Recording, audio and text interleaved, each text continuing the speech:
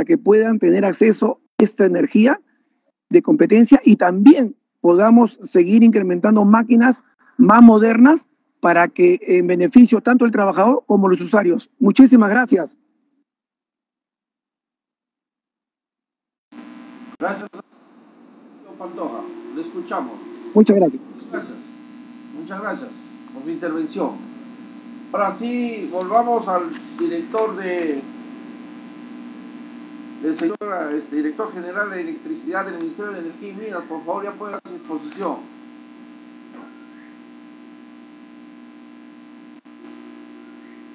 Señor director general.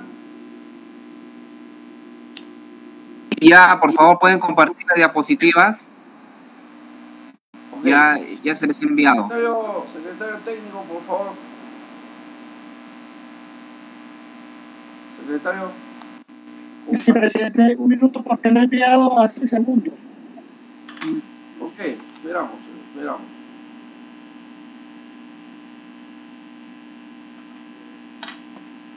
que antes que se dejaron de usar, pero, pero esto es para, para inicio de procesos de exploración, esto es lo básico, ¿no? Para sacar muestras. Presidente.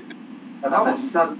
Sí, sí, hay que cortar el audio del congresista Salguana. Sí, Presidente, señor. Sí, congresista.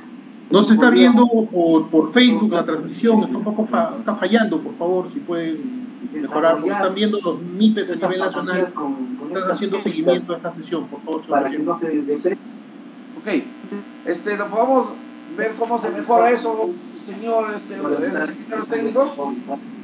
También tenemos Lo de la transmisión en Facebook. Sí, el señor presidente, la transmisión de por redes sociales es de la oficina de redes sociales, no lo, no lo manejo yo, pero voy a coordinar con ellos para que puedan este, eh, hacer la transmisión correspondiente. Mientras tanto, eh, tengo que tras- compartir el documento del señor y todavía está cargando. Pero, pero puede ir adelantando, señor este, doctor. Sí, por favor, eh, puede ir a la página número 6 y 7 del documento. Todavía no tengo, todavía no tengo descargado el archivo. Eh, Eso es lo que quiero que comprendamos, doctor. Estamos en un país, ima- imagínense, no hubiera computadores y electricidad. Por favor, usted tiene un resumen, nos puede Claro, ir adelantando sí. el tema. Exacto, sí, ya. Yo este, voy a, eh, empiezo, ¿ya? Eh, los- el proyecto de ley 900 presentado por los congresistas, lo que propone es que el límite de potencia para tener derecho de elegir la condición de usuario libre sea de 60 kb, el cual una vez superado otorga al usuario el derecho de elegir el cambio de condición. También plantea reducir el plazo de preaviso no menor a 60 días y que el cambio de condición se mantenga por un plazo no menor a 60 días. Ese es el proyecto de ley 900. Por su parte, el proyecto de ley 937 plantea que el límite de potencia para tener derecho a elegir la condición de usuario sea de 50 kb, el cual una vez superado otorga al usuario el derecho a elegir el cambio de condición. También plantea reducir el plazo de preaviso no menor de 30 días y propone que el cambio de condición se mantenga por un plazo no menor a un año. Esas son las propuestas tanto del proyecto de ley 937 como del proyecto de ley 900. Ahora bien, la ley actual, la ley 28832, plantea, uno, que la reglamentación de esta dispone que los rangos de máxima demanda a partir del cual se determina la condición de usuario regulado y los límites para el cambio de condición. Así, para ser usuario regulado no desee superar los 200 kb. También plantea que el preaviso se efectúe con una anticipación no menor a un año, según los términos que disponga el reglamento, y que el cambio de condición se deberá mantener por el plazo de tres años. La opinión de la Dirección General de Electricidad sobre estos proyectos es la siguiente. Primero, es necesario que se justifique la conveniencia de que mediante ley se fije el límite de potencia para que los usuarios cambien su condición de usuarios regulados a usuarios libres, considerando que la ley 28832 estableció que sea mediante una norma reglamentaria que se debe fijar dicho límite, previo un estudio técnico, económico y legal correspondiente, que así lo determine, para garantizar los principios constitucionales de interdicción de la arbitrariedad, razonabilidad y proporcionalidad.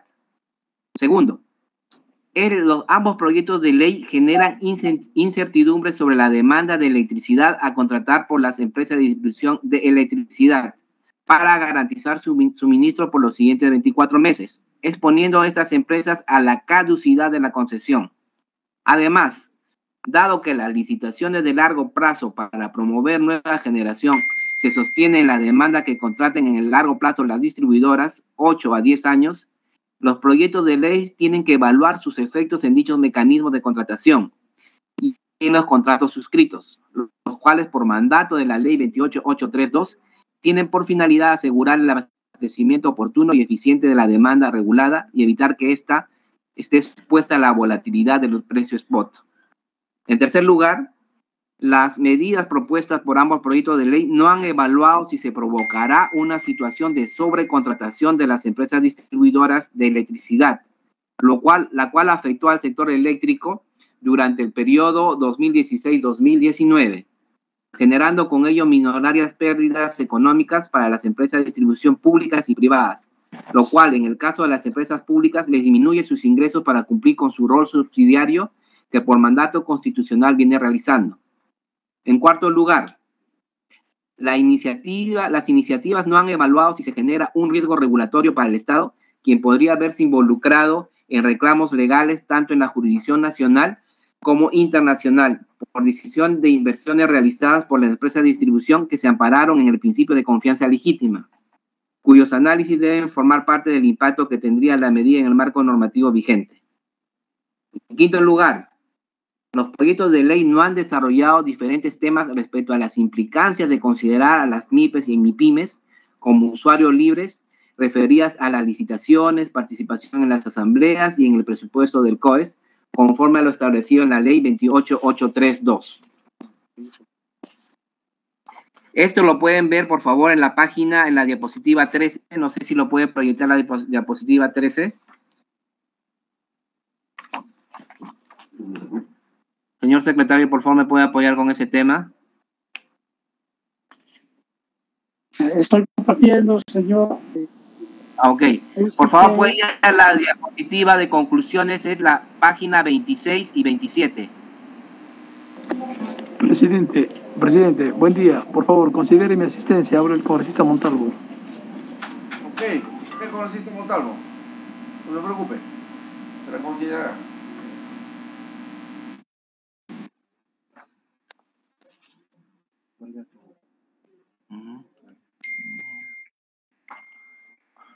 Ok. Esa es la página, señor. Por favor, la última y penúltima página. Ahí están las conclusiones, la última y la penúltima. Sigue avanzando. Ok, ya lo tiene. Ok. Ahí está. Exacto. La anterior, por favor.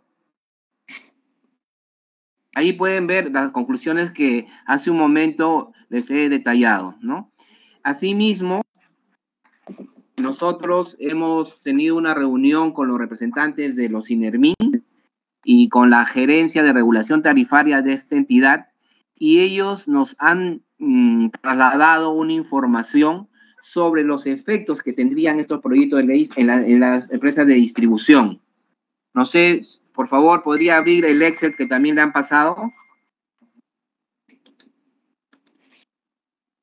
En un momento, por favor. Acá no sé si lo pueden ver. Esta es la información que en estos momentos le están remitiendo. Es un Excel. En este Excel se detalla eh, las empresas de distribución que tienen usuarios regulados. En este momento le están pasando a ustedes. En total son 24 empresas y ahí se detalla qué cantidad, qué porcentaje de estas empresas tienen usuarios regulados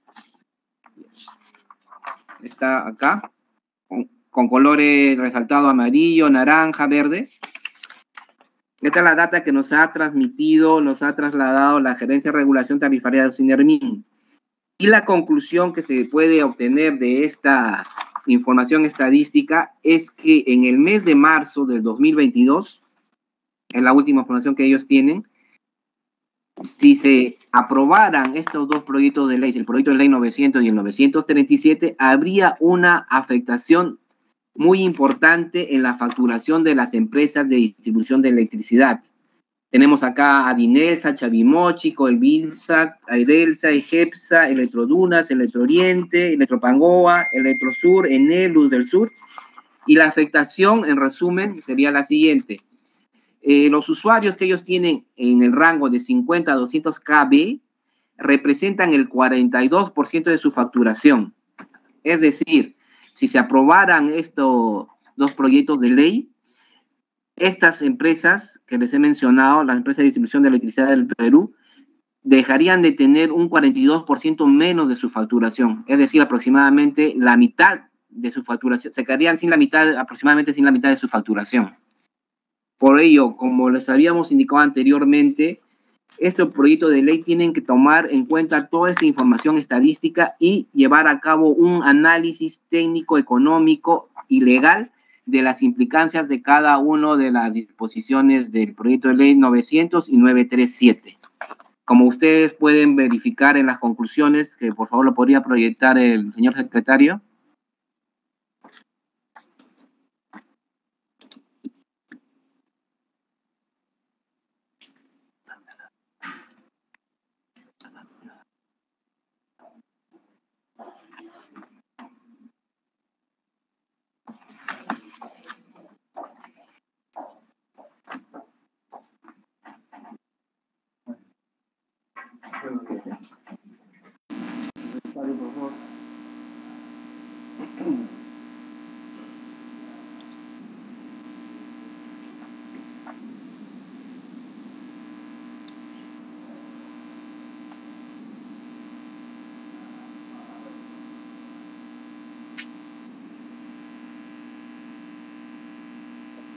Ahí está.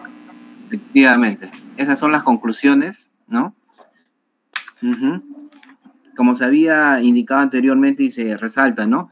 De que falta que los proyectos de ley hagan un análisis técnico, económico y legal de todas las implicancias que acarrarían la aprobación de ambos proyectos de ley, ¿no? Y también el tema de la data que nos ha trasladado los INERMIN sobre la consecuencia que tendría en la facturación de las empresas de distribución de electricidad de nuestro país. No sé si tienen algunos comentarios, algunas preguntas. Eso es tu exposición, doctor. Sí. Para mayor detalle, están en las diapositivas, ¿no? Yo lo que he procedido a realizar es exponer las conclusiones, ¿no? Como ustedes han señalado de que se tiene que dar a conocer la opinión institucional del ministerio. Sí, señor doctor, este, agradece presencia. Hoy quisiera algún congresista, por favor, que nos exprese una pregunta para el director. Por favor. Congresistas, una pregunta porque la idea es esto. Hemos dado a los, a los, a los funcionarios o a los empresarios para que nos hagan saber en qué beneficia y en qué no beneficia, por qué, para tener mayor análisis de la votación que se iba a hacer la vez pasada y no se lo hizo porque varios congresistas pidieron que se trabaje más esta ley, que se, escuche más, que se pregunte más. Entonces estamos acá para eso. Así que congresistas, por favor.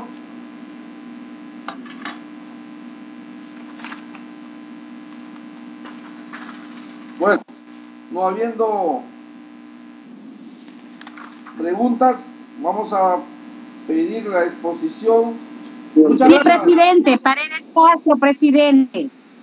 Su pregunta, congresista Paredes. Señor presidente, en primer lugar, para saludarle a usted y por su intermedio a cada uno de mis colegas congresistas, como también al señor Juan Antonio Aguilar Molina, director general de electricidad del Ministerio de Energía y Minas, al señor Daniel Hermosa Negreiros, director del Centro de Estudios MIPE Unidad del Perú y al señor Pío Pantoja Santos, presidente de la Asociación Peruana de Empresarios de la Panadería y Pastelería ASPAN.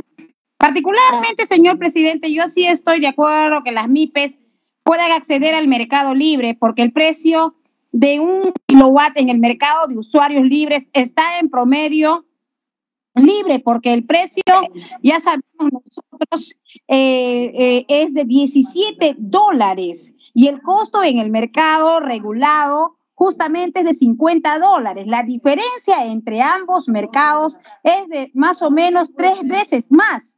Sin embargo, señor presidente, tengo algunas dudas respecto al impacto que esto va a significar para las MIPES y para el Estado peruano. En ese sentido, quisiera preguntarle al señor Juan Antonio Aguilar Molina, director general de electricidad del Ministerio de Energía y Minas, si como Estado podríamos enfrentar demandas por parte de la empresa de distribución de electricidad, en este caso, eh, de aprobarse la norma. Otra inquietud, si es que las MIPES organizadas podrían ingresar al sistema de usuarios libres y cuál es el tiempo mínimo que deberíamos permanecer dentro del mercado de usuarios libres, como estoy mencionando, para que no perjudique la perceptibilidad del mercado de energía eléctrica. Eso sería todo, señor presidente, por mi parte.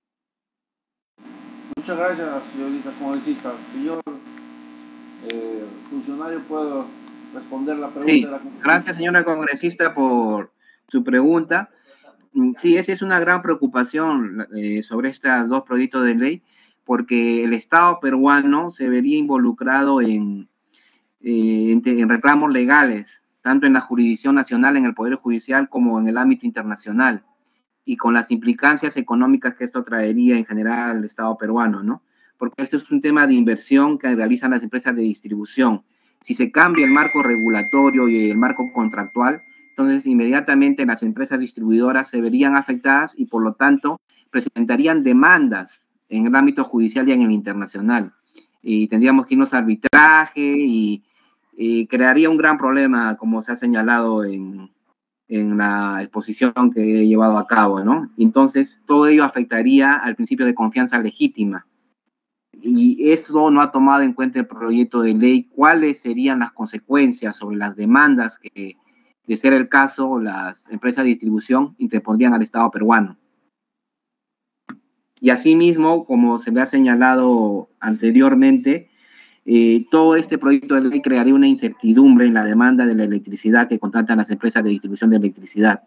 Porque como ustedes saben, el mercado de electricidad funciona de tal manera de que se tiene que tomar en cuenta la demanda que se tiene que contar en los próximos 24 meses y eso se evalúa tanto la empresa de distribución como el COES.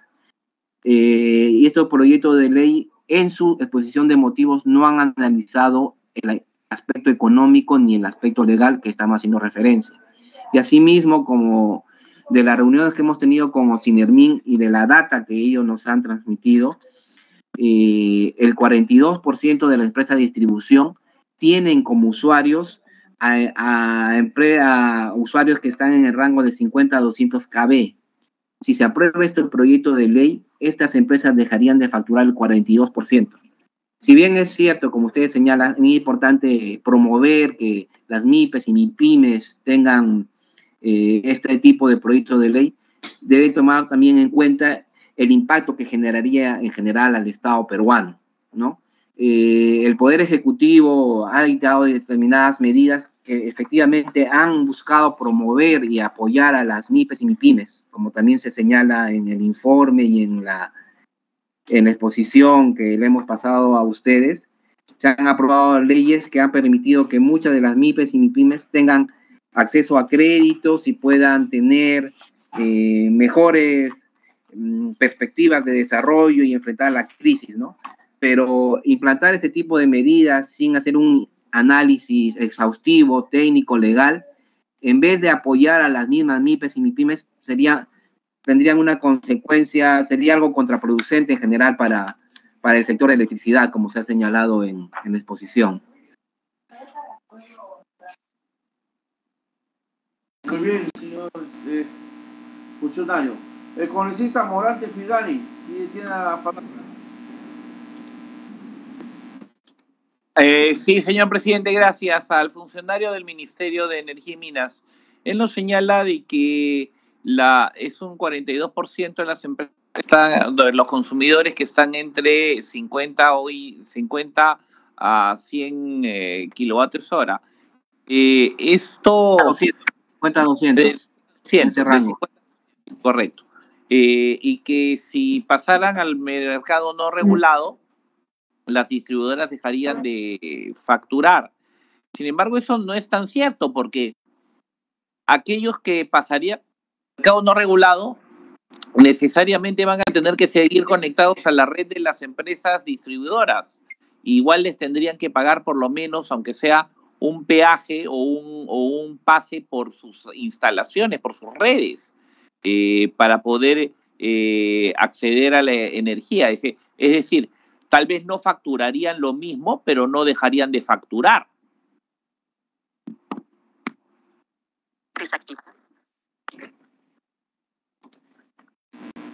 A ver, respuesta, a ver, señor Sí, funcionario. presidente, por su intermedio, sí. ¿Me, me permite responder al congresista? Sí, sí, sí, claro que sí. Sí, gracias. Sí, señor congresista, gracias por su pregunta. Bueno, eh, lo que sucede es que el impacto no, eh, no sería como, bueno, señala el congresista, ¿no? Se debe tomar en cuenta mm, que de todas maneras sí hay un impacto económico en las empresas de distribución de electricidad y la mayoría de ellas son empresas estatales. Mm, Por eso, en todo caso, sería bueno, recomendable que los proyectos de ley cuenten con un estudio que tomen en cuenta este factor en particular, ¿no? ¿Cuál sería el impacto sobre la facturación de empresas de distribución?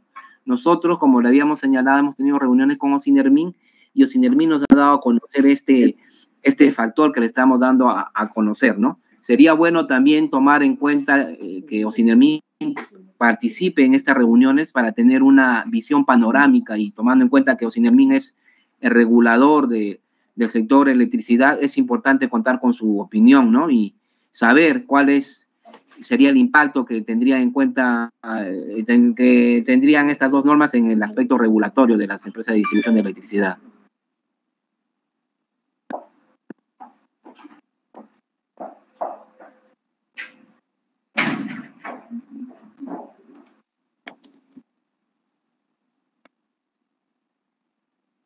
Señor presidente, presidente. ¿sí? Señor presidente, otra, otra pregunta, por favor.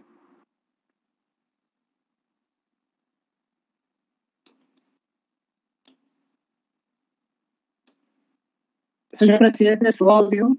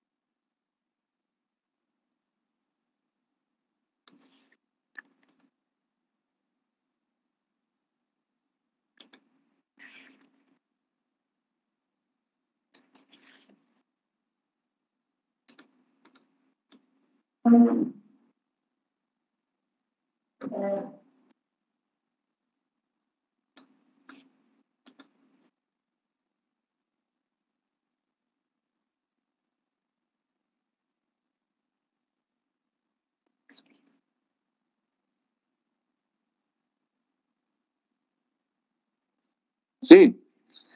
Disculpe, se me fue el sistema. Era.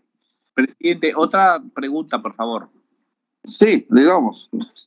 Pregunte usted, congresista. Sí, cómo no, gracias. Eh, al funcionario de Energía y Minas. eh, ahora, nos indica usted que esos Inermin quien les ha dado esta información y tal. Ahora, ciertamente las distribuidoras podrían perfectamente eh, volver a, a, digamos, renegociar sus contratos con las eh, empresas eh, generadoras de electricidad para efectos de que si hubiera una salida del mercado regulado de aquellos eh, de aquellas empresas que podrían estar entre 50 y 200. O sea, eso también es perfectamente probable. Adicionalmente a ello, digamos, técnicamente es perfectamente viable, o sea, me refiero desde la perspectiva simple y llanamente energética, es decir, de, de, de tecnología, es perfectamente viable que estas empresas puedan pasar del mercado regulado al no regulado. ¿Es, es correcto esto?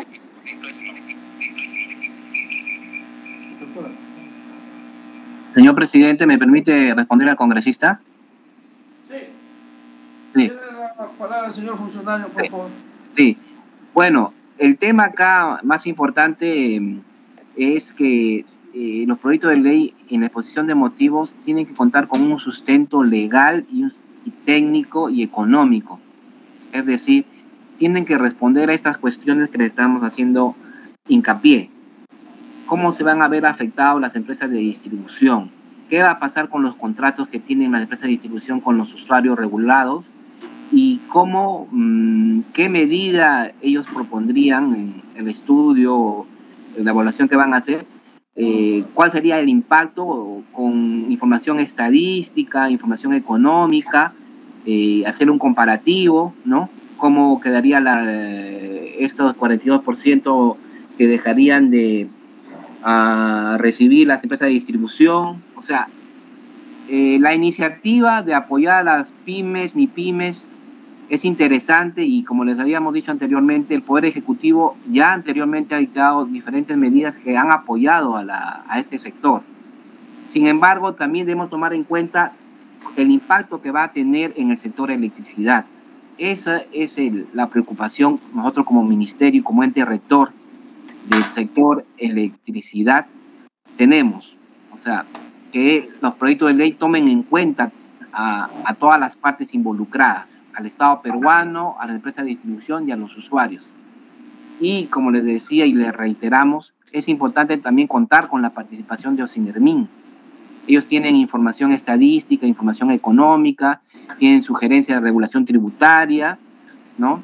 Entonces, donde ellos tienen mayor información y tal vez nos darían mejores alcances y recomendaciones para lograr eh, tener mayores elementos de juicio para poder tener un proyecto de ley que evalúe todos estos temas, todas estas aristas que le hemos dado a, a conocer. Muchas gracias, funcionario. Doctor. Otro congresista, por favor. Otro congresista. Bueno, vamos a seguir. Eh, muchas gracias, señor doctor. Gracias, señor presidente. Nosotros estamos llanos a, a informarles, eh, comunicarles cualquier detalle adicional que tengan sobre la problemática que trata de eh, las propuestas que han hecho ambos proyectos de ley y como les decía, nosotros como eh, ente rector del sector de energía, esa es nuestra preocupación, ¿no? Que se tome en cuenta a todos los actores, a las empresas de distribución, a los usuarios, a Osnermin como ente regulador, que se llegue a una solución a este tema, pero con la participación de todos y que se tome en cuenta el impacto que va a tener en todo el sector en sí. Muy amable, gracias y quedamos llanos para cualquier consulta, eh, que tengan sobre este tema. Gracias a todos. Muchas gracias. Eh, eh, bueno, damos la bienvenida al señor Daniel Hermosa, quien es este Negrero, director del Centro de Estudios UNIPE Unidad del Perú. Buenos días, señor Daniel Hermosa. Señor presidente, buenos días. A través de usted, a todos los congresistas y los invitados que se encuentran en este momento en la plataforma. Eh, gracias por la invitación. Eh, realmente eh, hemos estado haciendo el seguimiento a estos importantes proyectos de ley. Eh, yo voy a, a, intervenir brevemente, presidente, porque el objetivo es que nuestro asesor técnico también tenga algunos minutos para absorber las dudas que podrían haber después de escuchar la exposición del representante del Ministerio de Energía y Minas. Eh, yo no sé si puedo compartir o lo hago a capela nomás, sin necesidad de presentación.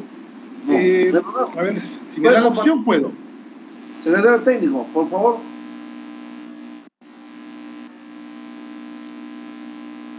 Señor presidente, ¿ya puede sí. compartir el señor Hermosa?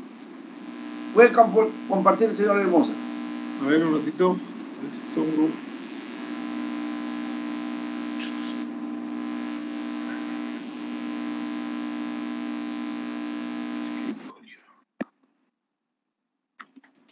Ya ahí está. ¿Se ve, presidente? Sí, señor Daniel, sí, señor. Muchas gracias, presidente. Bueno, voy a ver si puedo ampliar la ventana.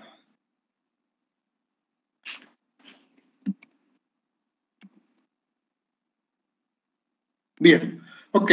Eh, bueno, brevemente eh, quisiera mencionar, señor presidente, que nosotros hemos venido eh, promoviendo esta, este proyecto de ley, inclusive en el Congreso anterior. Eh, todo el mundo sabe que eh, tanto la Comisión de Energía y Minas del, Congreso anterior lo aprobó por unanimidad este proyecto de ley y en la Comisión de Economía se aprobó por mayoría este proyecto de ley que nos permite el ingreso al mercado libre. Fuimos invitados, todos los, todos los actores, como bien ha señalado el funcionario de Energía y Minas, a opinar con relación a este importante proyecto que beneficia a sectores como carpintería, metalmecánica, eh, panadería, y le hemos escuchado al señor Pío Pantoja, ¿no? Y también al cuero y calzado, y sobre todo a la industria alimentaria vinculada al arroz, en vista de que muchos molinos utilizan este importante insumo para poder movilizar su, maquinaria. Eh, presidente, he señalado los sectores que, que se favorecen. Eh, obviamente, el funcionario ha mencionado que el 47% de los clientes de, las distribuidoras están entre el rango de 50 a 200. Yo la verdad que pediría que ese estudio se revise porque el año pasado Sinermin mencionaba un, un número inferior de este, posibles usuarios, eh, digamos, que podrían estar en este rango de 50 a 100. Así que eso me ha sorprendido sobremanera. Es obvio que en este momento de crisis sanitaria se deben tomar medidas urgentes, se deben tomar medidas que ayuden al sector de la micro y pequeña empresa y que no favorezca, y yo creo que no me equivoco al decir, al monopolio que tiene tanto el Estado como las empresas privadas en Lima. ¿no? Ese monopolio que a nosotros no nos permite poder tener la posibilidad de acceder a una energía barata, más aún en la crisis que estamos viviendo. ¿no? Esta, esta, este proyecto de ley de aprobarse ayudaría pues a miles de MIPES a poder subsistir en esta grave crisis que, en la cual nos encontramos y que es de público conocimiento. Yo creo que sustentarlo no es necesario. Aquí hay un tema importante, señor presidente. ¿no? Eh, las empresas que se verían básicamente eh, beneficiadas con esta ley estarían en el sector manufactura y en el sector servicios eh, probablemente de, de, hoteleros, etcétera. ¿no? Estos, estos serían los dos sectores mayormente beneficiados. Acá hay una data que quisiera que los congresistas tomaran en consideración. Durante, desde el inicio de la pandemia a la fecha, han muerto 600.000 micro y pequeñas empresas de todos los sectores. ¿no? 600.000 empresas que han migrado a la informalidad o simplemente han quebrado, lo cual es un indicador que obliga al Estado y al Congreso de la República a tomar medidas urgentes para seguir evitando esta masacre empresarial producto de la pandemia, de la crisis eh, que vivimos, crisis económica y también obviamente de la crisis política que tiene un gran componente en este problema que vive la micro y pequeña empresa. Bueno, como verán, el 50% de la capacidad del sector, por ejemplo, confecciones, está paralizado, ¿cierto? Eh, la, las medianas, las, las, pequeñas y las microempresas en este momento están pasando una grave crisis y esto se traduce en miles de, per, miles de puestos de trabajo perdidos. Aquí vemos, por ejemplo, un cuadro que eh, ha sido publicado por el Instituto de Estudios Económicos de la Sociedad Nacional de Industria, donde vemos el comportamiento de cómo viene la caída, ¿cierto?, negativa del sector eh, empresarial, sobre todo de la micro y pequeña empresa, pero enfocado en qué? En la industria gráfica, que también se vería beneficiada con este proyecto. Confecciones, cuero y calzado, prendas de vestir, ¿cierto? Entonces, tenemos un, una caída libre en la cual se necesita frenarla con medidas como la que en este momento estamos conversando. No deja de ser cierto lo que dijo también el funcionario de Energía y Minas, que el, Estado ha implementado muchas medidas, pero para ser honesto, presidente, no son suficientes para las millones de empresas que en este momento nos encontramos en una grave crisis. Eh, hablaba el, funcionario de Energía y Minas que la afectación sería el 50% de los usuarios. Bueno, obvio, en este momento, en este cuadro, usted puede observar que casi el 50% de las MIPIMES se encuentran en Lima. Y en el centro el 10%, en el norte 20%, en el sur 15% y en el oriente 4%. Si bien es cierto, el oriente tiene otra metodología de abastecimiento eléctrico, es un cuadro que nos indica dónde están ubicados y los supuestos, eh, digamos, eh, perjudicados con esta norma se encuentran obviamente en la ciudad de Lima. Bueno, nosotros ya hemos venido, como le había comentado, eh, gestionando ante el gobierno, primero el Ejecutivo, porque no deja de ser cierto también que con un decreto supremo podría haber solucionado este problema, pero Osinermin ya ha hecho un pronunciamiento que estoy seguro que ustedes ya tienen, y nosotros creemos de que esto más que un, un tema de obligación o de derechos, ¿no? Es un tema vinculado a la capacidad de elegir a, nuestro, a nuestros proveedores. Bueno, hay algunos mitos que quisiera que el, ingeniero Luis Espinosa lo, comentara con relación al tema de que nos van a enviar juicios y, y realmente eh, está claro de que cuando se modificó en el año 2009 y se bajó a 200 kilowatts, no, no hubo ningún juicio, no hubo ninguna demanda de parte de, los, de los distribuidores. Eh, otro que eh, este, expone el Estado peruano, como decía, juicio de ventaja, es totalmente falso. Bueno, en todo caso, presidente, eh, este, este, esta tendencia es una tendencia mundial de migrar al mercado libre. Eh, nuestro hermano de la República de Chile, el año pasado, han presentado un proyecto de ley ¿no? Eh, liberalizando totalmente el mercado de, del consumo para que las casas, los domicilios, puedan elegir a sus distribuidores. Por lo tanto, no es tan cierto de que hay una defensa cerrada a los monopolios que tienen en este momento las empresas distribuidoras, por ejemplo, en el caso del Perú. Bueno, de aprobar esta, esta norma, definitivamente ayudará a crecer y a generar trabajo en la micro y pequeña empresa. Señor presidente, quisiera, he sido rápido en, en mi intervención porque me gustaría muchísimo que nuestro asesor pudiera hacer algunos comentarios, eh, si usted permite, señor presidente. Sí, no se preocupe, le permito, señor. Ingeniero Espinosa, por favor. ¿Qué tal? Buenos, eh, buenos días con todos, eh, señores congresistas, eh, señores asistentes. Este, eh, si, si quisiera que me den para compartir y mandar una sola, unas cuantas figuras para que se den cuenta el tema. A veces se acusa de que le falta análisis, pero hay algo que se pierde de vista respecto a lo que estamos discutiendo. ¿Ya? No sé si me puede dar para poder compartir. Señor secretario, por favor, Está autorizado, señor presidente.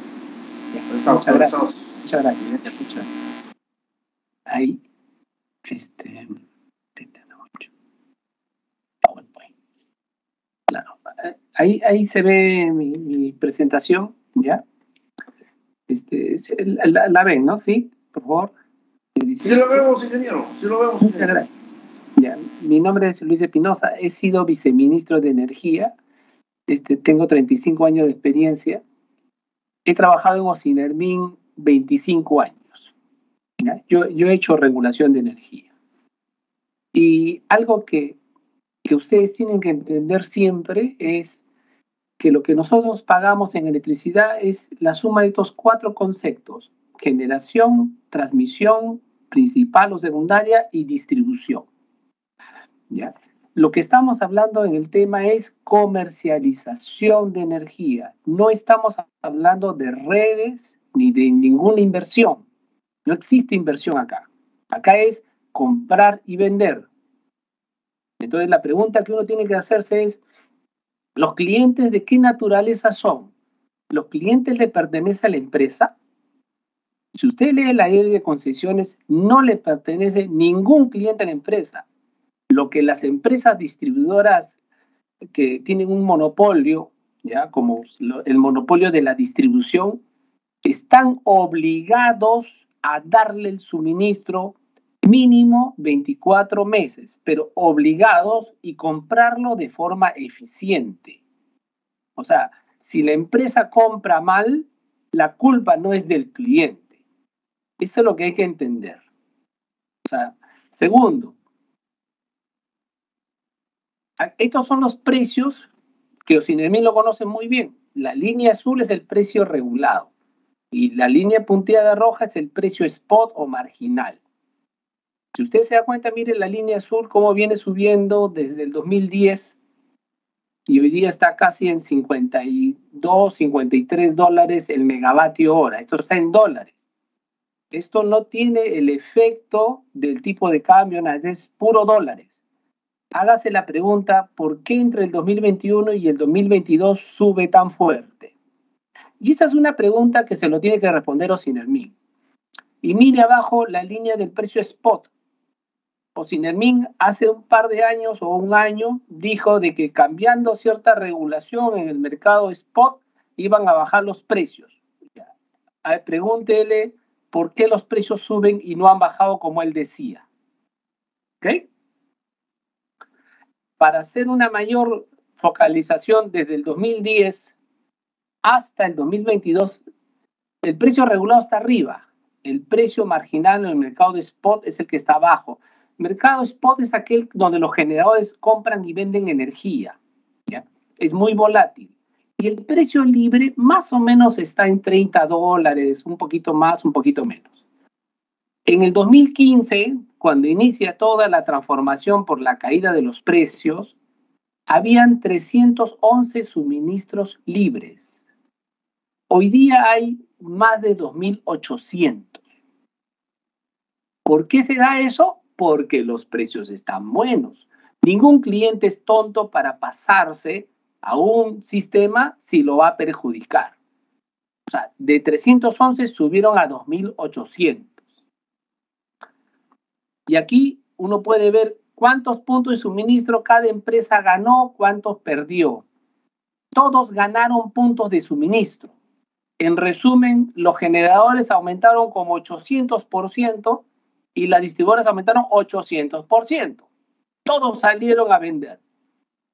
Si lo vemos por potencia, que es a veces lo más interesante, los generadores solamente aumentaron 70% y las distribuidoras aumentaron 100%. ¿Quién ganó más? Las distribuidoras. ¿Por qué? Porque están comercializando. Aquí no cambia en nada su pago de las redes, su BAD, la distribución, nada cambia. Lo único que cambia es cuánta energía hay que comprar para los clientes. Y podemos hacer mucho análisis para ver que hoy día, antes un cliente a Electroperú tenía un cliente que le consumía en promedio 4.8. Hoy día tiene clientes que le consumen 52 megavatios. Podemos ver Engie, que era un gran generador, antes tenía clientes promedio de 26,9 megavatios cada cliente, hoy día tiene 3,4. ¿Por qué? Porque tiene un montón de clientes, ha dividido. Usted puede ver en él también de 31,9 bajó a 2,8. Y así todos han ido metiendo más clientes. Si ven solamente a las distribuidoras, las distribuidoras antes su cliente promedio era de 3,1 megavatios, 3. O sea, Luz del Sur, en él 1.8. Las barras azules son lo que antes era en 2015. Hoy día, ¿cuántos están? 0.3, 0.2. 0.2 significa 200 kilowatts. O sea, eso es lo que ha pasado. O sea, han metido más clientes y se ha hecho más competitivo.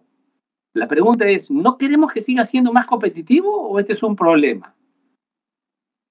Entonces, algo que ustedes tienen que darse cuenta es, esta es la proyección del mercado regulado, el que tanto dicen que estamos protegiendo al mercado regulado.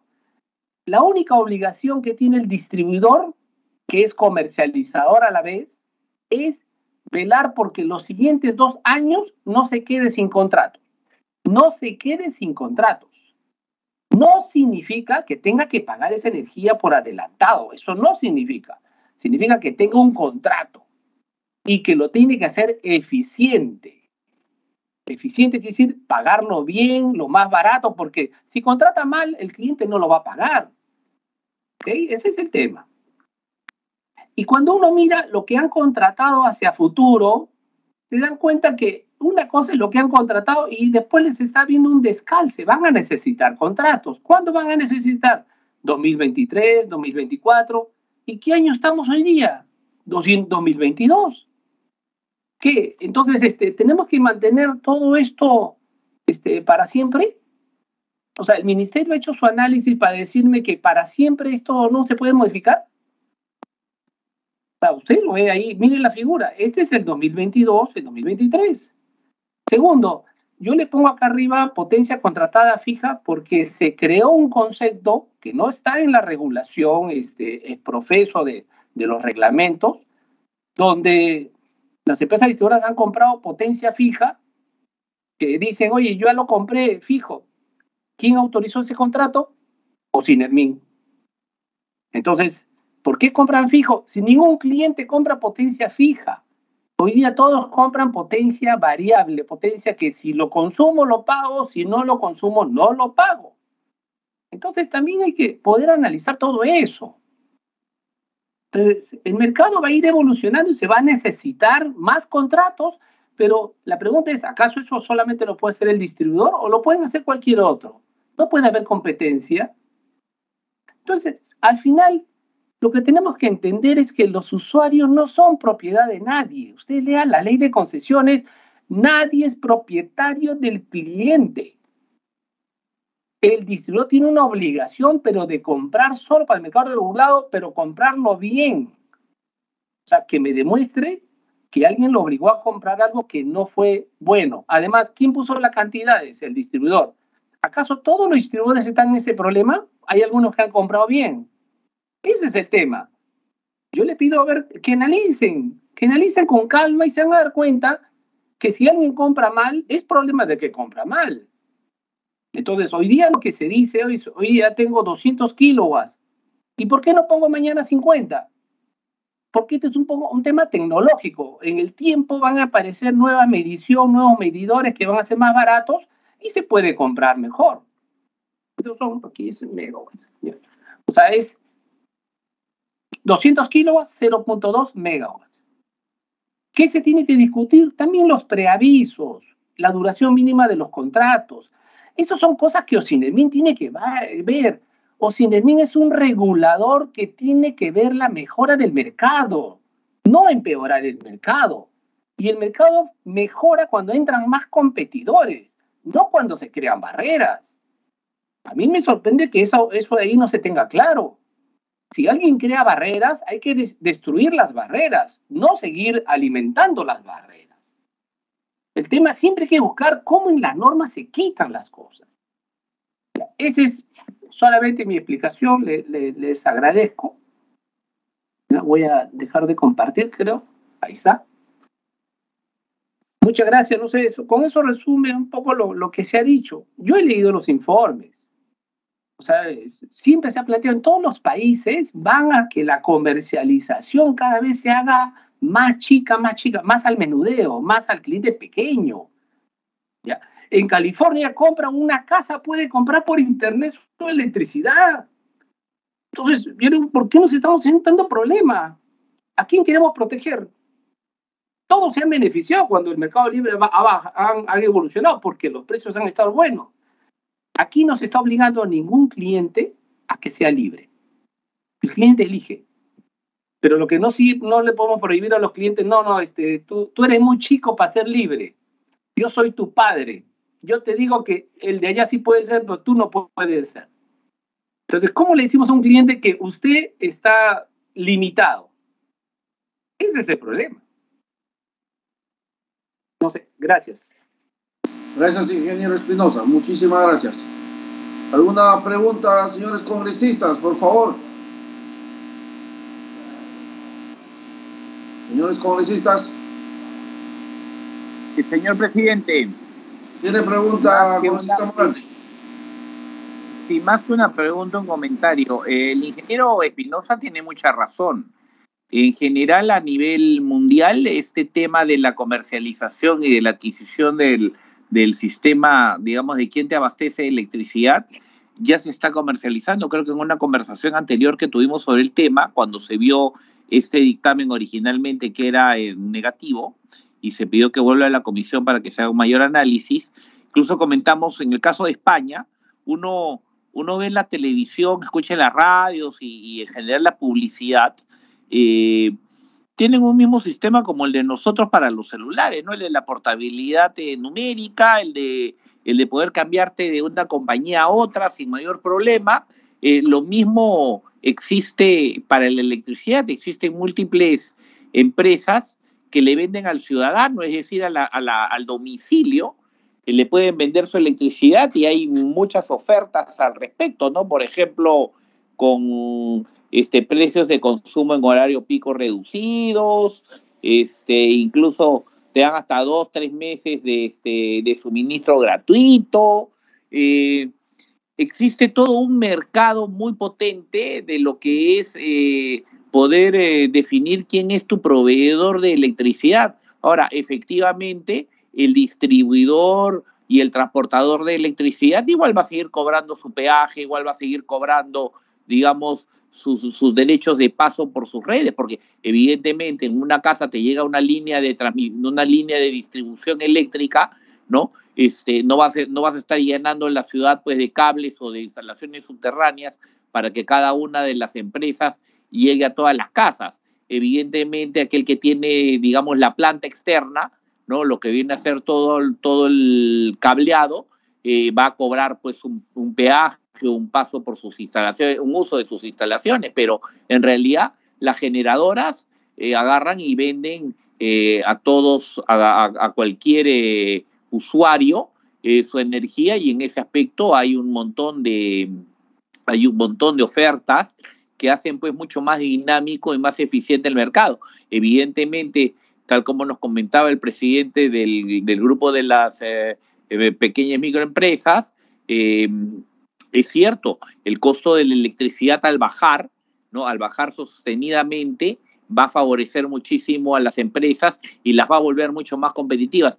Si estas empresas, en términos reales, el día de hoy, muchas de ellas eh, pueden salir a mercados incluso internacionales para tratar de vender sus productos y creo que nuestra empresa textil es una empresa pues, que tiene una calidad reconocida a nivel mundial, eh, tanto así de que en el Perú incluso se producen las prendas para las principales marcas eh, y más importantes a nivel mundial.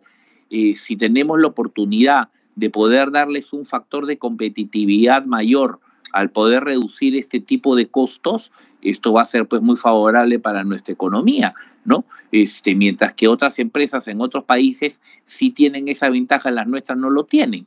¿Por qué no poder permitir que nuestros empresarios puedan contar con esas facilidades que les pueda dar el Estado? ¿no? Porque en términos reales estaríamos de una u otra manera haciendo, eh, haciendo eh, que nuestras empresas tengan un mayor factor de competitividad y, de, poder eh, presentar sus productos en mejores condiciones.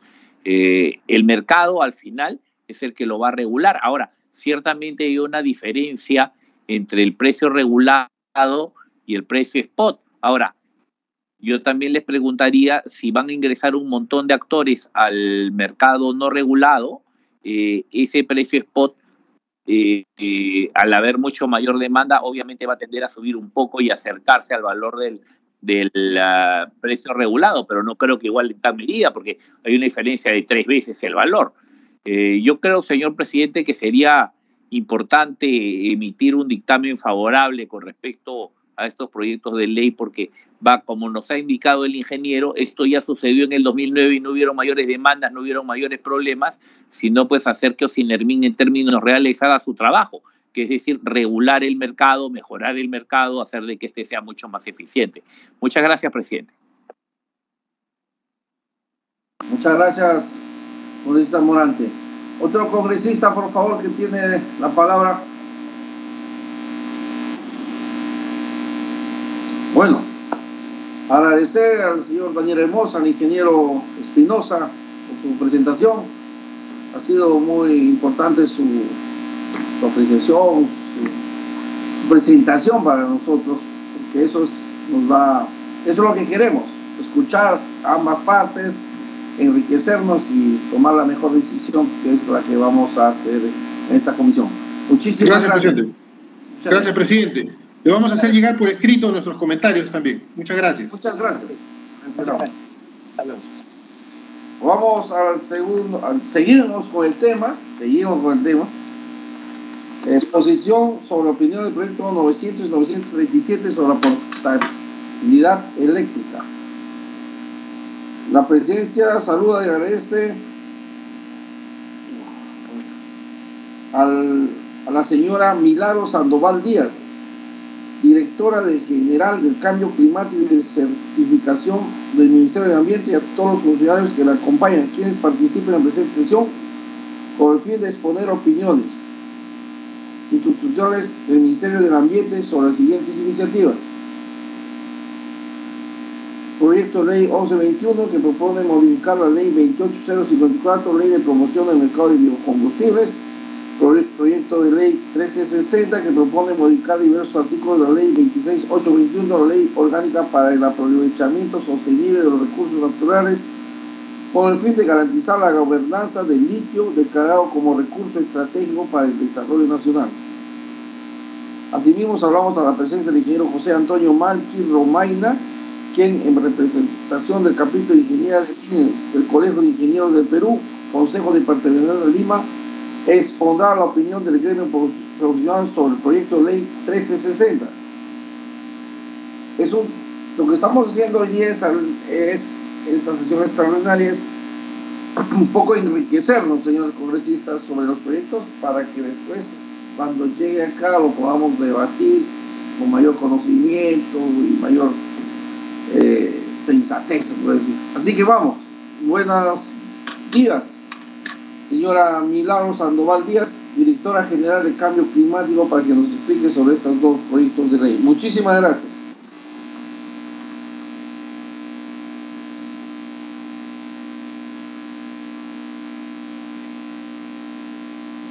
No le escucho, señora Fabiola.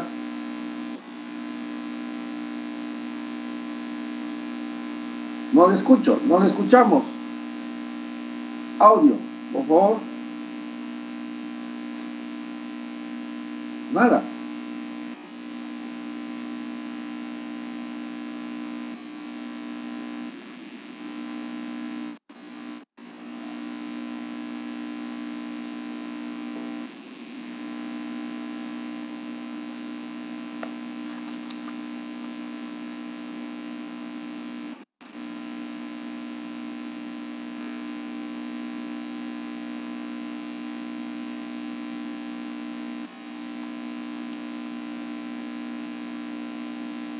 Vamos.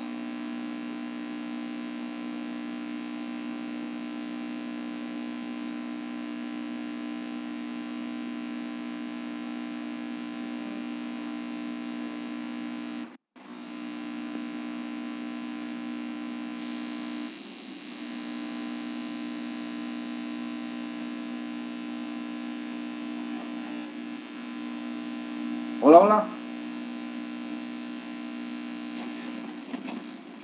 A ver.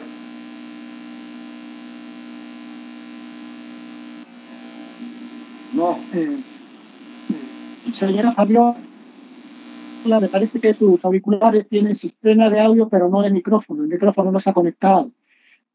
Señor presidente, este, pasemos por favor al, ingeniero Hermosa, si usted lo dispone, para poder ganar tiempo y mientras la, la funcionaria del MINAM pueda resolver su problema técnico, por favor. Muy bien, muy bien, así es, avanzamos. Ingeniero José Antonio Malqui Romaina, por favor, bienvenido. Eh, buenos días, buenos días señores este, congresistas y señor presidente. Buenos días. En representación, en representación del capítulo de Mina del Colegio de Ingenieros del Perú, de sede Lima, este, vamos a, a exponer el tema del litio mineral estratégico. Eh, he tratado de simplificar en una presentación eh, para que lo hagan un poco, eh, ustedes entiendan la importancia de este, de este mineral y, y, los subproductos que son mucho tan importantes como el litio mismo, como el potash o el sulfato de potasio, un fertilizante que necesitamos ahorita en nuestro, nuestra agricultura. Y vamos a hablar sobre ese tema. Eh, es, que, es, que, el litio no viene solo, viene con sus subproductos tan importantes como el litio. Y, y vamos a tratar de eh, que ustedes entiendan eh, una presentación que he tratado de que sea la más simple posible para que vean la importancia de este mineral estratégico para el desarrollo nacional. Entonces, voy a, abrir la, la presentación.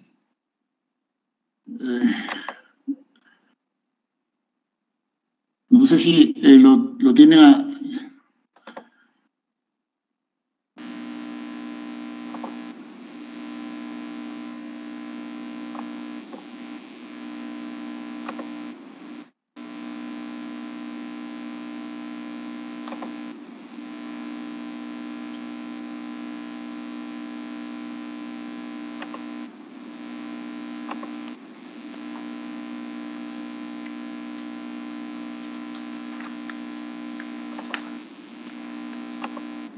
No sé si me, me, ayudan, si lo tienen ya. Eh, los... No se lo. No ¿Listo? Se ve, no se ve su presentación. Ahí. Todavía. ¿Ahí lo tienen? Todavía.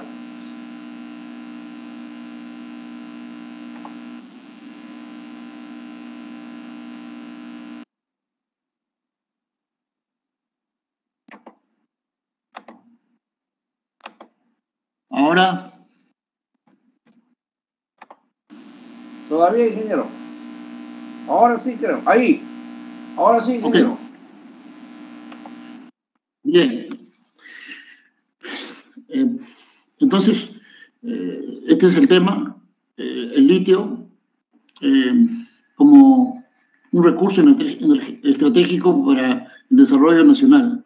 Yo soy José Antonio Malqui Romaina, ingeniero metalurgista de profesión y vengo trabajando de- de- eh, como consultor desde el 2017, eh, fecha en que se descubrió el yacimiento de Falciani en, en la región de Puno y comenzamos a hacer todo un trabajo eh, experimental eh, con el equipo de geólogos y el equipo de procesos. Comenzamos a trabajar este, en pruebas y, y para poder encontrar la ruta, una ruta que nos pueda dar recuperaciones y- y aceptables y económicas para este mineral de litio. Fuimos soportados por personal de Australia y, y Canadá, en- porque ellos tenían mucho más experiencia, pero en estos cinco años que ha pasado ya nosotros hemos adquirido una experiencia en este, en este elemento este, mineral. Entonces vamos a hablar sobre eh, cómo estamos en el Perú en el tema del litio, eh, cómo estamos a nivel Sudamérica eh, y a nivel mundial. Los precios eh, que se estilan en este momento, que están eh, los costos de operación, las leyes, etcétera. Eh, algo rápido y, y- y me gustaría que eh, se entienda un poco el tema un poco general que, que he hablado. No quiero entrar mucho al detalle con respecto a, a cosas muy técnicas, sino en- vamos a hablar en forma general para que ustedes entiendan eh, de qué se trata ¿no? Eh, este tema. Entonces, por ejemplo, eh, nosotros, eh, nosotros como, como yacimiento de litio, en Perú tenemos eh, el litio en, en rocas, en tobadas volcánicas, que es la, la- estas rocas sedimentarias, pero en el mundo existe eh, litio también en pegmatitas, que son una roca muy dura, y, y- después te- existe en salmueras. En la actual producción de litio en el mundo, la mayor producción es en salmueras, porque casi más de la mitad eh, se produce el litio, el carbonato de litio a partir de las salmueras.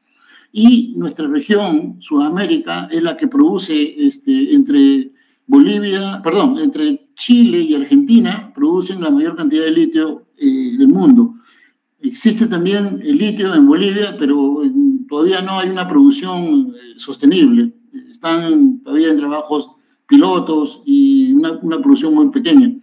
Nosotros también este, eh, vamos a entrar a la etapa ya de pruebas pilotos. Hemos hecho trabajo, mu- mucho trabajo experimental eh, con el mineral y, nosotros somos eh, en el mundo, tenemos este tipo de, de litio en rocas sedimentarias, pero con, con participación hay poca, ¿no?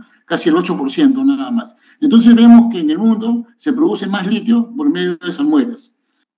Eh, También en la zona de Australia por pegmatitas, que es casi la cuarta parte de la producción.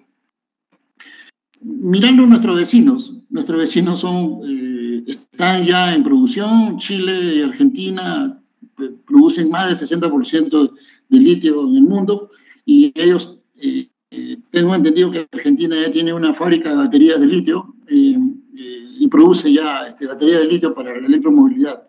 Chile aún está produciendo litio, carbonato de litio equivalente, o sea, eh, como producto de exportación. Y Bolivia tiene los recursos, más está ahí en pleno despegue también de la producción. Entonces, eh,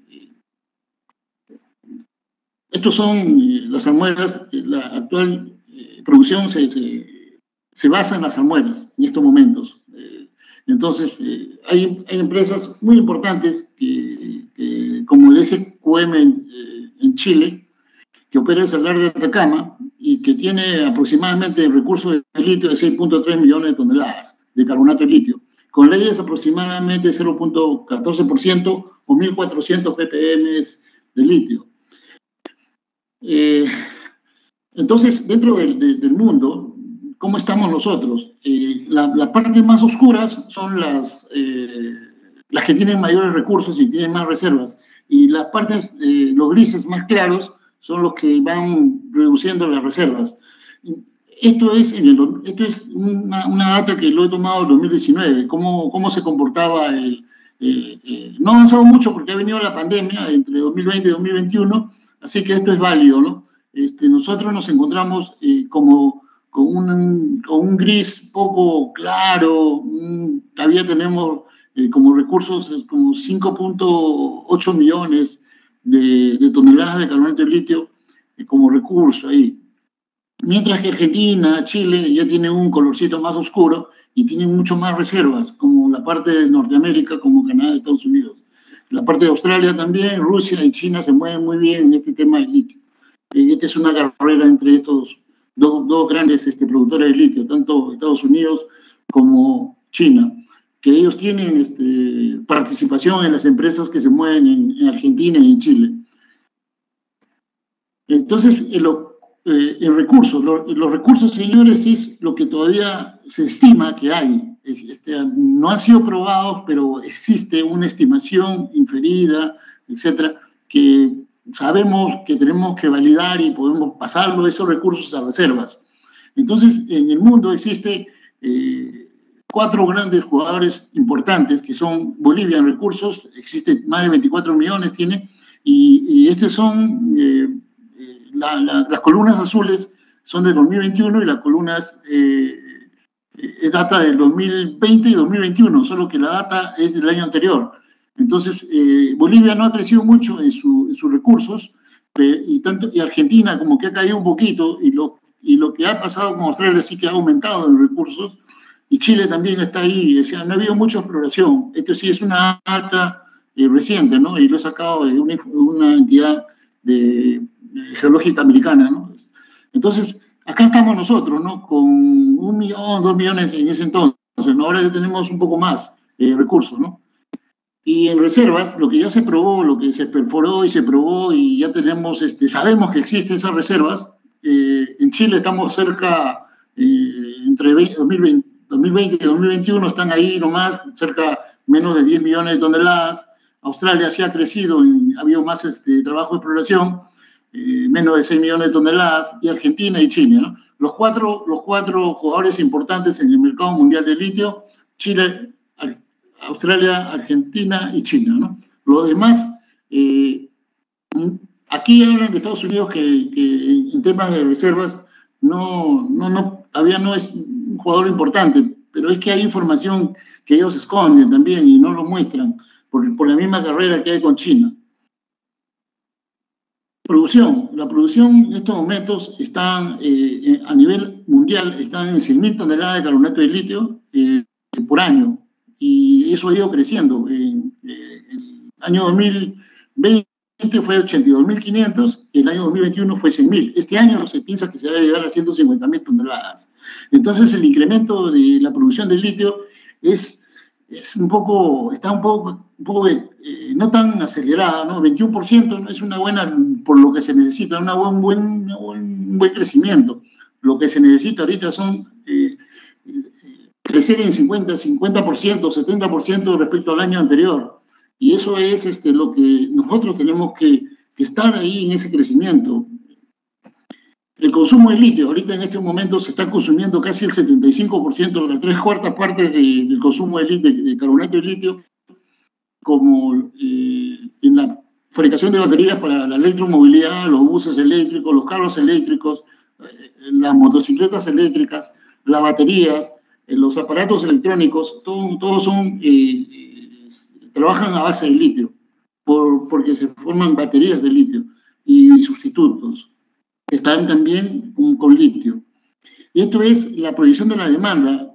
Fíjense en la demanda. Nosotros estamos ahorita en el año 2022 y se necesita casi 450 mil, o sea, 400, cerca, cerca de 400 a 450 mil toneladas eh, de carbonato de litio anual y estamos ahorita en 100 mil. Entonces, fíjense el desfase que hay. O sea, no, eh, no hay este, producción para tanta demanda. Entonces, eh, la, la, carrera entre China y Estados Unidos por, por poder explorar y poder eh, confirmar este, reserva de litio es, es muy, muy este, fuerte.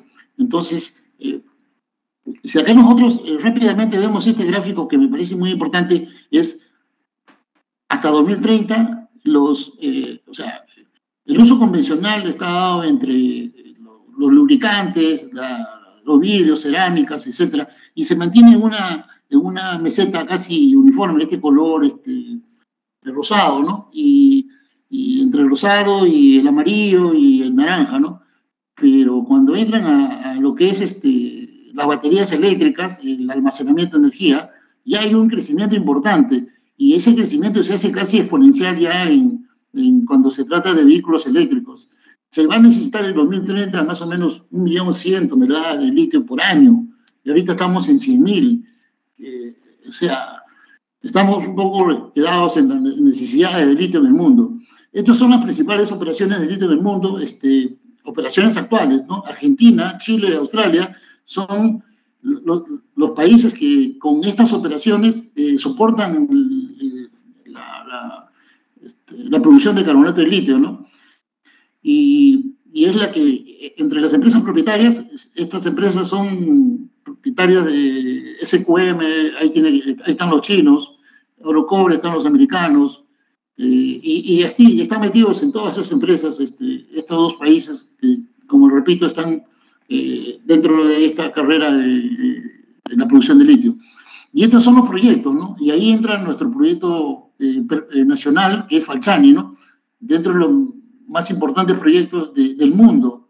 Eh, tenemos Sonora en México, eh, estas son las empresas, tenemos Tacker Pass en Estados Unidos, Falchani en Perú, tenemos en proyectos en Australia como cuatro o cinco proyectos también, eh, que van a soportar eh, la producción futura de, de, de, litio en el mundo. Y también tenemos en Argentina dos proyectos muy importantes en salares. Sabemos que en Australia la, la producción va a ser sostenida con mineral de roca dura, las pegmatitas. En Argentina se va a sostener la, la, eh, la producción con salares. Y, y, en Perú nosotros vamos a sostener eh, la producción. En, en estos tres países, entre México, Estados Unidos y Perú, la, producción es entre roca sedimentaria. Eh, las rocas sedimentarias son las arcillas, las rocas volcánicas, las evaporitas, y esos son los, eh, los países que tenemos este tipo de, presencia de litio en, estas rocas sedimentarias. ¿no? Entonces, vemos que los proyectos que vienen eh, están ahí eh, entre las pegmatitas, o sea, en esos tres tipos de elementos, las pegmatitas, los salares y las rocas volcánicas. Y aquí viene lo que a, a, todo el mundo le interesa y a los que tienen el, los inversionistas. O sea, los precios, eh, los precios de, de, de, una tonelada de carbonato de litio se han disparado exponencialmente y esto en promedio creo que en 2022 va a acabar en algo de 50 mil, porque estos son promedios. En estos momentos creo que está entre 70 y 74 mil dólares la tonelada de carbonato de litio. Pero fíjese el, el, el incremento exponencial que ha habido. Cuando esto empezó en 2017, nosotros estábamos hablando de 12.000, 12.500 de dólares la tonelada de carbonato de litio, y fíjense el incremento que ha habido de, del, precio del carbonato de litio. Y aquí la gráfica también lo indica, ¿no? Eh, esto es este carbonato de litio, eh, la, línea azul, y el otro es este hidróxido de litio, ¿no? También que es un producto que se forma del carbonato de litio. Entonces, eh, la curva es súper creciente, ¿no? Entonces, ya hemos hablado un poco de, los proyectos de litio, nuestro proyecto cómo está, eh, hemos hablado de los productores eh, de litio, y ahora este, vamos a hablar de nuestro proyecto Falchani, ¿no? Eh, en Perú. Nuestro proyecto Falchani está dentro de la, de la meseta Macusani, en la provincia de Carabaya, en la región de Puno, ¿no? Eh, a, 600 kilo, a 650 kilómetros de la ciudad de Lima y a 220 kilómetros de la ciudad de Juliaca. Eh, me comenta que de Juliaca a Macusani antes se, se, llegaba en 11 horas, eh, ahora se llega en 2 horas, por, porque hay una carretera ahí, la interrupción. Y eh, la propiedad, perdón, la propiedad es la, toda la, la, zona que, que, maneja American Lithium, eh, que es la que aquí se ha fusionado con la Plateo, Plateo Energy, es la que maneja toda la zona amarilla, ¿no? Y ahí es, es, está entre 93 mil 93 hectáreas, ¿no? Que más o menos viene a ser la tercera parte de, Lima, que tiene 270 mil hectáreas. Entonces, los valores que se han encontrado aquí en, nuestro proyecto están en 3.000 a 3.500 en promedio, ¿no? ppm de, de, litio, de, del elemento litio, ¿no? Y eso transformado a óxido de litio viene a ser 0.65 a 0.75. En comparación con, con, los, con los vecinos, eh, estamos hablando, por ejemplo, los salarios de litio tienen 1.400 ppm o 0.14%. Lo, los salarios de Bolivia están alrededor de 250 a 300 ppm y los, los salarios de Argentina están alrededor de 1.000 ppm, 950. Entonces, nosotros tenemos un, un, un mineral y roca, roca volcánica que está alrededor de 3.500. Hay valores de 5.000 como hay valores de 2.500 también, pero en promedio tenemos esa, esa ley, esa, esa, esa ley de litio en, en, nuestro, en nuestro yacimiento. Y la, el espesor, bueno, esto de aquí es eh, eh, ya un poco de tema geológico, eh, es, yo lo voy a explicar alguna gráfica más adelante, pero las pruebas que hemos, se han hecho, este, tanto en Australia como acá en Perú, este, han, tienen una, una, recuperación cercana al 90% de extracción de litio en, en, en, medio ácido, ¿no? Y esto va a ser seguro explotado en un tajo abierto o un open pit. Entonces, eh, esto se descubrió en el 2017, cuando estaban haciendo perforaciones, porque ellos tienen otra concesión a más o menos 28 a 30 kilómetros en línea recta, una concesión de, de, de, de uranio, y estaban haciendo perforaciones por esta zona nueva de Fachani eh, por, por, uranio. Pero cuando metieron los taladros encontraron unos importantes valores de litio a, a 200 de 150 metros de profundidad de la superficie. Y esa, esta zona, la, la, zona que ve, la zona rosadita, ese es todo el cuerpo del litio hasta la fecha. Eh, este, indicado, lo que han, han podido este, pasar de, de, como reserva, ¿no? Y ahí están los taladros. La zona superior es una reolita, esto de aquí es la toba volcánica, que creen ellos que los geólogos indican que este es un lago prehistórico que ha sido solidificado, ¿no? Y la, este son tobas y lo de abajo son reolitas, ¿no? Y estas tobas, las reolitas superiores y estas son las reolitas inferiores. Estas riolitas tienen valores de 800, 850 ppm y ahorita con los precios del litio es bueno también tratarlos. Así que vamos a hacer seguro campañas de tratamiento de este, de este mineral en, a nivel de laboratorio, tanto en Perú como en Australia. Entonces, eh, el, el, la zona mineralizada lo tenemos a 200 kilómetros, a 200 metros sobre la superficie, no, no está encima de la superficie, sino que hay que hacer seguro un, hay que sacar esta zona de, de riolitas y, y proceder a, a, tomar el mineral. Nosotros como proyecto, eh, en estos momentos, estamos como el sexto productor, sexto, perdón, sexto proyecto de litio, aquí el proyecto Falsani, pero como ya como en la casa matriz, como American Lithium, nosotros en estos momentos somos el número uno, porque ellos tienen allá un proyecto en Nevada llamado Tonopa, que también tiene buenos recursos de litio y superan a, a, a, todos los demás proyectos. Entonces, en conjunto, entre Fachani y Tonopa, somos el primer productor ahorita, podríamos ser, perdón, el, el primer, este, empresa que posee recursos de litio a nivel mundial. Eh, entonces, eh, en Fachani, ¿cuántos recursos tenemos a la fecha? Tenemos eh, inferidos, indicados, tenemos .96, casi un, un millón de toneladas y inferido tenemos 3.5. Sumando los dos nos da casi 5, 5 millones, de, cerca de 5 millones de toneladas de carbonato de litio como recurso. Lo que necesitamos es pasar estos recursos a reservas y para eso necesitamos los permisos. Entonces, eh, nosotros, eh, tanto en Perú, eh, cuando empezamos esto en 2017, eh, eh, comenzamos a, trabajar con, con la con una entidad este, nuclear australiana, eh, una organización llamada Anston, que también ellos tenían mucho mayor recorrido que nosotros eh, con el tratamiento de mirar el litio, porque ellos tenían litio en pegmatitas, y comenzamos a hacer pruebas y ellos también, ah, por su lado, tomaban la información nuestra y sacamos una ruta, ¿no? Y esta es la ruta, ¿no? Una lixidación ácida, una separación sólido-líquido, una purificación, una evaporación mecánica y luego la, la, la, remoción de impurezas. Esta remoción de impurezas les voy a, les comento más adelante cómo se, cómo, cómo eh, removiendo impurezas encontramos unos subproductos que son muy importantes también para, como, como, valor estratégico para nuestro país. Y luego lo refinamos y formamos el carbonato de litio.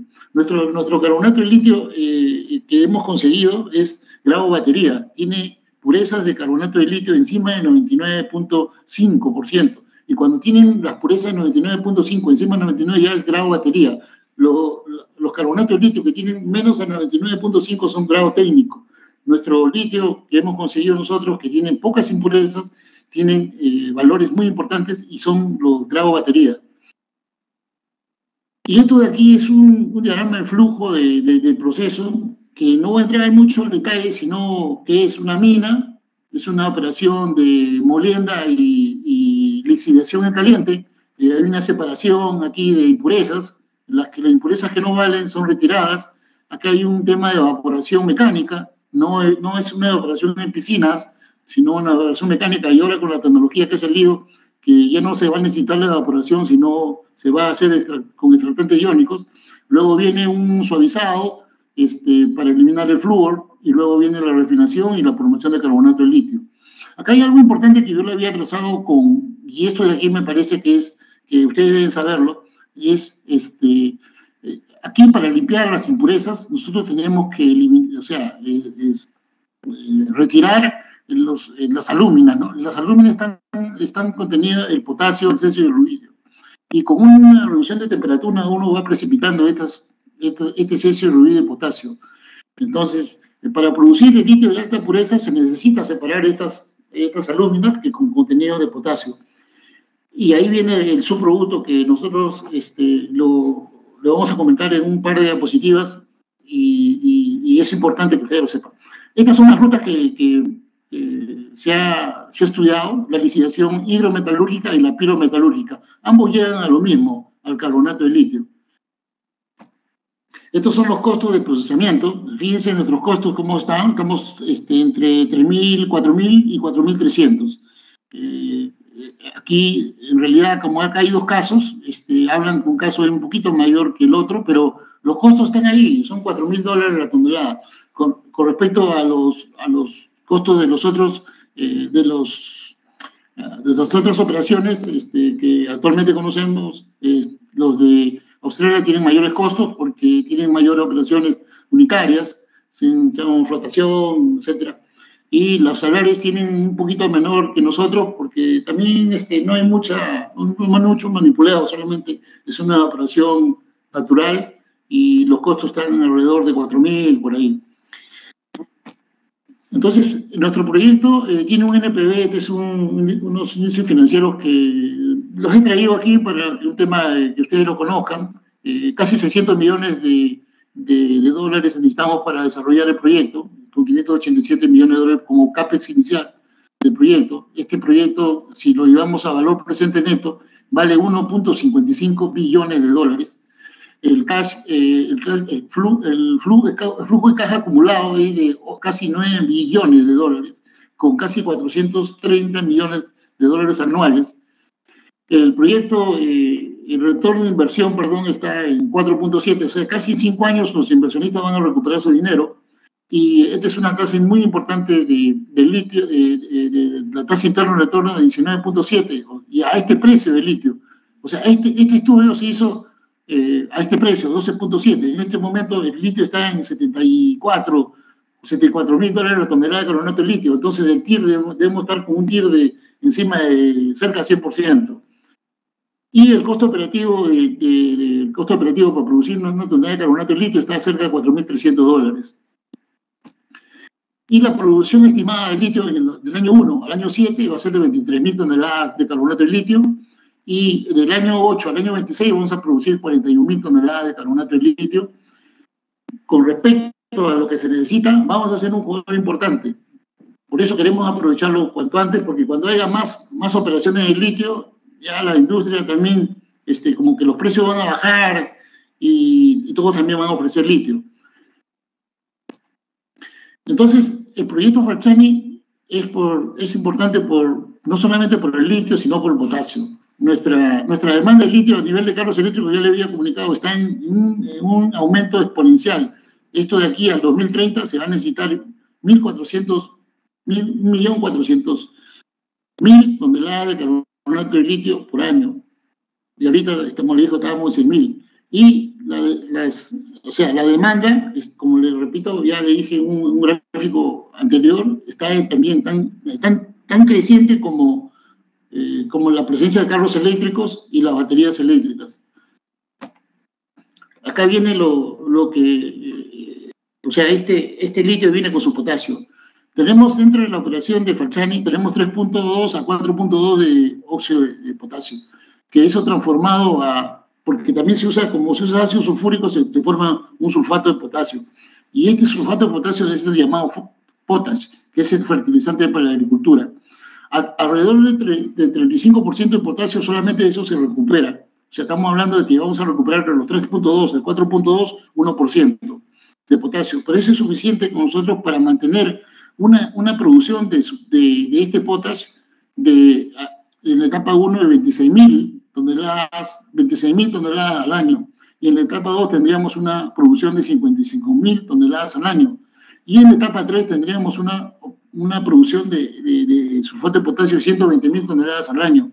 Si nosotros sabemos que nuestra agricultura está en, en, en, en importaciones agropecuarias, está en incremento, entonces vamos a necesitar los fertilizantes que en estos momentos estamos importándolos en un, alrededor de 70 mil. Entonces, Falciani no solamente muestra el, el, como, como, un recurso eh, potencial el litio, sino el potasio. Y tenemos más o menos 7.5 millones de toneladas de potasio equivalente de, de potasio. O sea, tenemos para, para vender potasio a, a nuestros vecinos eh, cercanos ¿no? y al que, al que quiera comprar. Entonces, Falciani será tan autosuficiente en términos de producción de potasio por más de 50 años. Entonces, y eso es lo que yo digo, ¿cómo, cómo, cómo está ahorita la, la compra de, de, esto, de, este, de este fertilizante a nivel, a nivel nacional? Estamos, estamos importando 77 mil toneladas de, de, sulfato de potasio como fertilizante. Y hasta la fecha, eh, a marzo, tenemos 25 mil. 25 mil toneladas que ya hemos importado. Entonces, esto de aquí es tan importante como el litio. O sea, nosotros tenemos el potasio ahí como para producirlo y tenemos que producir el potasio porque tenemos que limpiar el litio de, esa, de, esa, ese subproducto para poder conseguir un litio de alta pureza. Entonces, como conclusión, nosotros necesitamos los permisos para confirmar estos recursos que lo tenemos en estos momentos a reservas. Necesitamos que exploren, Necesitamos que se genere una legislación para promover este tipo de operaciones, que se busquen más yacimientos o que se, que se den los permisos como para poder continuar con las pruebas a nivel piloto y quizá una planta pequeña y luego avanzar con esta producción de litio. Vamos a producir potasio sí, potas, sí o sí para producir litio de alta pureza, grado batería. El subproducto SOP, SOP, o que le dicen en inglés es sulfate of potash, o potash, eh, puede repotenciar la segunda reforma agraria tan mencionada por el actual gobierno. Requerimos que nuestra clase política esté enterada de la oportunidad de oro que se nos ha dado, que nos ha dado nuestra naturaleza para crecer como país. La posibilidad de, dejar pasar esta oportunidad nos no dejará rezagados respecto a nuestros vecinos, que ya tienen pasos adelante en temas de litio, Argentina, Chile y Bolivia. Tenemos que saber de una vez por todas que no, que no existen fracciones minerales de uranio que puedan contaminar la explotación de estos recursos. El uranio está en otra zona del plato de Macusani. Está, o sea, no, en la zona de Falciani no hay uranio. Todo solo hay litio, potasio, cesio y ruidio. Muchas gracias por su atención. Tenemos acá dos fotografías que le hemos traído. Esta, esta aquí, la, la que está, dice plateo carbonato de litio, fue hecha por la gente de Anston en Australia, cuando nos, eh, nos mandaron eh, hace un año, año y medio atrás, y nosotros ya hemos producido también el, en, en, Perú hemos producido nuestro carbonato de litio con, grado, con alta pureza, grado batería. Muchas gracias, señor presidente. Eso sería y estaría llano a las preguntas de rigor. Muchas gracias, ingeniero José, este, por su intervención y por su exposición. A señores congresistas quisieran escucharles. A ver, congresista. Congresista Morante, por favor. Tiene la palabra. Gracias, presidente. Para hacerle algunas consultas al ingeniero, no significa que efectivamente el uranio en esta zona. Eh, eh, pero que esta, esta opción de obtener el litio nos genera potasio, pero también cesio. Entiendo que el cesio también es un producto radiactivo. Eh, ¿Existe algún estudio al respecto de qué tan radiactivo es este cesio que hay en la zona de Macufani? Y segundo, ¿existen otros posibles o probables yacimientos de litio en el, en el resto de la geografía nacional? Y un tercer punto, entiendo que buena parte de la producción de litio hace un uso intensivo de agua, incluso en las explotaciones, tanto en Argentina, Bolivia y Chile, tienen algunos problemas porque se genera mucha contaminación con como agua a lo, al agua eh, subterránea, ¿no? a los acuíferos, o, o va a los ríos. ¿Nos podría precisar esos tres temas, por favor? Gracias. Gracias, gracias. Sí, eh, bueno, el, el cesio eh, y el rubidio eh, son subproductos eh, tan igual que, el potasio. O sea, dentro de las alúminas, que nosotros hacemos la limpieza de, de, las corrientes de litio, separamos las alúminas y las alúminas contienen cesio, rubidio y potasio. El cesio y el rubidio es, o sea, es obtenido al final de la cadena de, del potasio. O sea, primero Primero nosotros eh, conseguimos el potasio y luego el, el, el rubidio. El cesio rubidio aún no tenemos, eh, estamos aún trabajando con, las pruebas para la producción de este cesio rubidio, así que la pregunta de si es radioactivo o no, eh, no la podría eh, responder en estos momentos. Hemos trabajado fuerte en lo que es litio y en lo que es potasio. Eh, entonces, el cesio y el ruido, no tenemos ahorita información de la, de la, de la radioactividad de este, de este elemento. Eh, así que eh, podría este, enviarle algún, eh, hablar con la gente de Anston y poder responderle en otra, en otra invitación. Ahora, respecto a la, a la, segunda pregunta, ¿alguna operación que haya en, en Perú? Sí la hay hay en Arequipa, en Arequipa hay las, las axías. Eh, hay, una, hay una, un denuncio llamado Enmectita, Enmectita 100, es un yacimiento de arcillas. Y en la zona de Tacna y Moquegua existe eh, salares, no tan grandes como, como eh, ni Atacama, el salar de Atacama, pero existe presencia de, de, de salares en la zona de Tacna. Y les digo porque se nos ha informado de, esta, de estos salares. Y la tercera eh, pregunta era respecto, no, no, no lo entendí, este, podría, eh, me podría repetir la tercera, la primera fue de cesio, la segunda una operación, la tercera, ah, la, la presencia de uranio, creo me dijo. No, señor, este era sobre el tema del uso intensivo del agua. Eh, ah, ya, eh, sí, mire, nosotros en Fanchani no vamos a usar evaporación para producción de... Ambientales. De, sí, nosotros en, en Fanchani no vamos a utilizar piscinas de evaporación.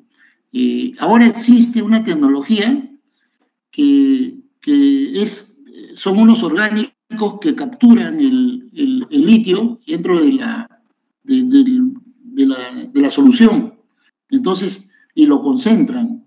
¿no? Entonces, esa tecnología también la van a aplicar en los salares de Biuni y en los salares de, de, de Atacama. O sea, este tema de ambiental es más, más sería para los salares que para nosotros que tenemos litio en roca volcánica.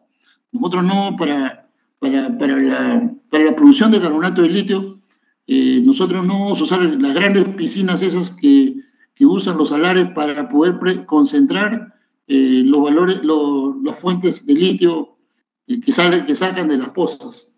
Pero si, si vale la pregunta, ellos ya están usando nueva tecnología para concentrar y evitar esa evaporación y causar ese desbalance acuífero que habría en el medio ambiente. Ok, muchas gracias. Otro congresista, por favor, que, haga la pregunta.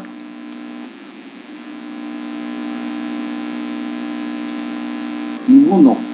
Bueno, se agradece al ingeniero José Marqui por su participación y, bueno, sabemos que estamos en el proyecto de ley 1360.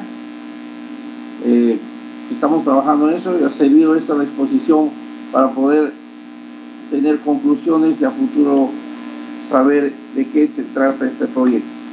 Este, eh, eh, quisiera agradecer la, la presencia del ingeniero José y estaremos siempre comunicándonos por el tema del litio. Muchas gracias. Muchas gracias, señor presidente. Muchas gracias por la invitación. Ahora sí, supongo ya está solucionado el problema de técnico con la señorita Milagro Sandoval, directora general de Cambio Climático y de Certificación del Ministerio del Ambiente. Bienvenido, señorita Milagro Sandoval. Buenas tardes, señor presidente. ¿Sí me copia? Sí, ahora sí. Ahora sí, buenas tardes. Buenas tardes, señor presidente. Las disculpas del caso y por su intermedio las disculpas a, toda, a, todos los congresistas. Eh, en principio quisiera manifestar que en representación de la directora Milagro Sandoval está participando quien le habla, Fabiola Guaranca, especialista legal de Dirección de Cambio Climático. A continuación, el proyecto que vamos a, vamos a hacer vamos a hacer uso de la palabra para comentar el proyecto de ley 1121-2021-CR que modifica la ley 28054, ley de promoción del mercado de biocombustibles. Al respecto, nosotros en principio queremos saludar la iniciativa del Congreso por la búsqueda siempre de nuevos proyectos, nuevas energías, porque siempre está buscando explorar evaluar la incorporación de nuevos biocombustibles con el fin de coadyuvar a reducir las emisiones de gases de efecto invernadero.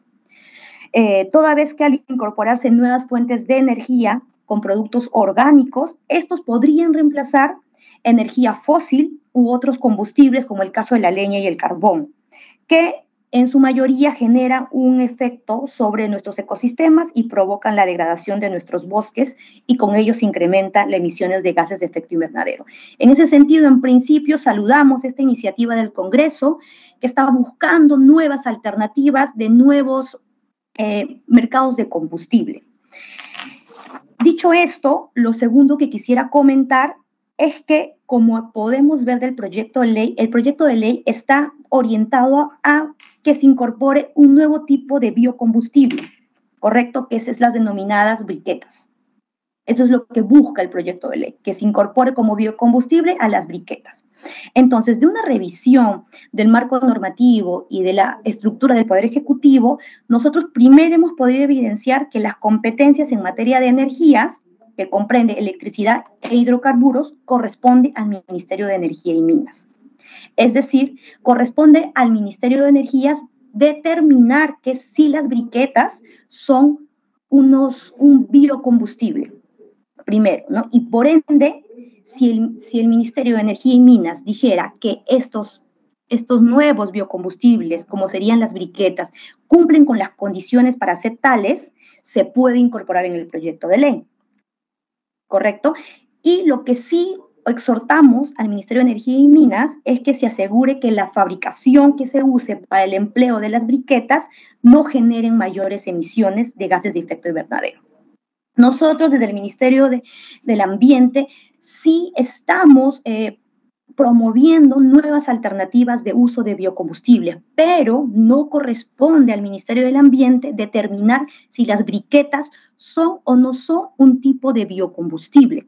Esto es de competencia del Ministerio de Energía y Minas. Exhortamos y lo que pedimos al Congreso de la República es que pueda también en, una sesión o en otra sesión a modo de opinión solicitar la opinión del Ministerio de Energía y Minas.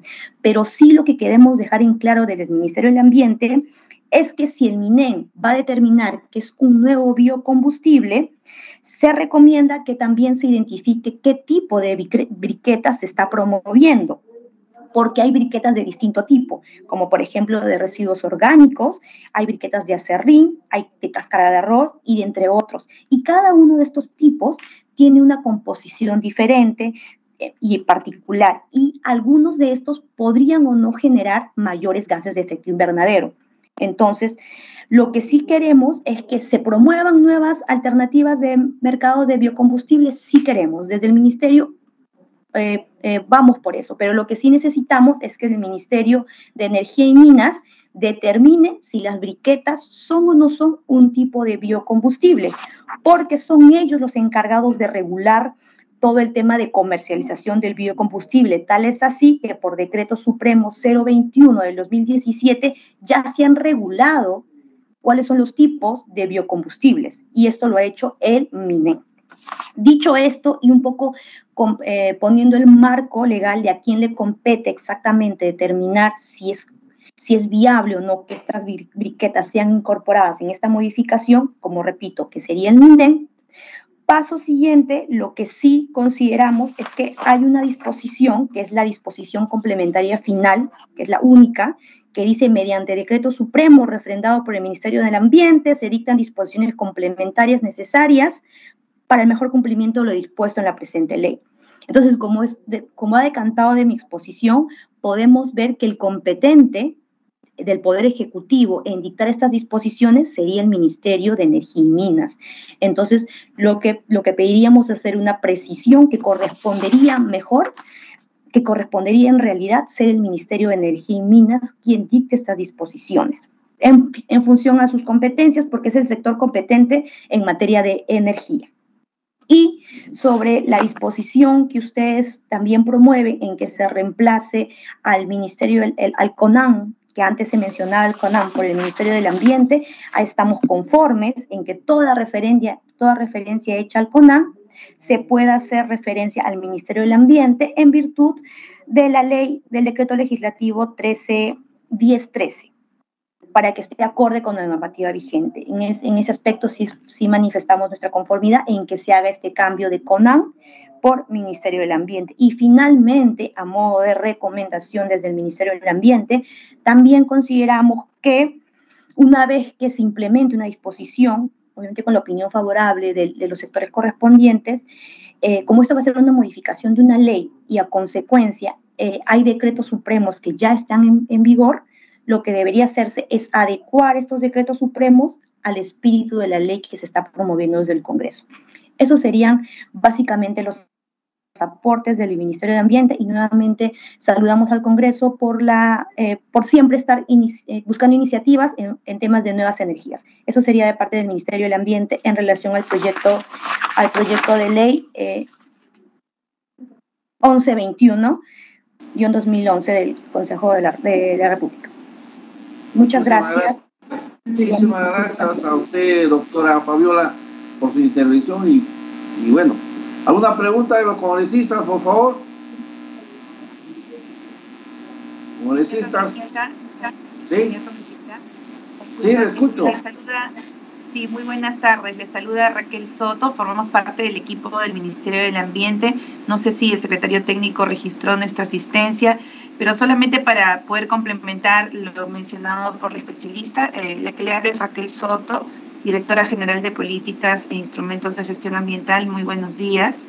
Solamente para poder complementar lo mencionado por Fabiola respecto a la opinión del Ministerio del Ambiente, también nosotros consideramos que este proyecto eh, estaría alineado a, la, a los objetivos eh, prioritarios establecidos en la Política Nacional del Ambiente, por eso es muy importante que se haga referencia como parte del articulado, eh, sobre todo en el objetivo, que este proyecto de ley estaría alineado o estaría desarrollándose en el marco de la Política Nacional del Ambiente, en el cual los, uno de los objetivos prioritarios justamente están relacionados a reducir los gases de efecto invernadero, en donde se tienen desarrollados ya lineamientos, servicios y actividades. Entonces, sí creo que es muy importante, eh, como muy bien lo mencionaba Fabiola, luego de la conformidad que se respecto a este tema de la definición de biocombustibles, que se complemente de motivos con los, los lineamientos, los servicios y acciones que ya están desarrollados en la Política Nacional del Ambiente al 2030 que le dé más soporte y peso a la propuesta normativa. Eso nada más, señor congresista. Muchas gracias.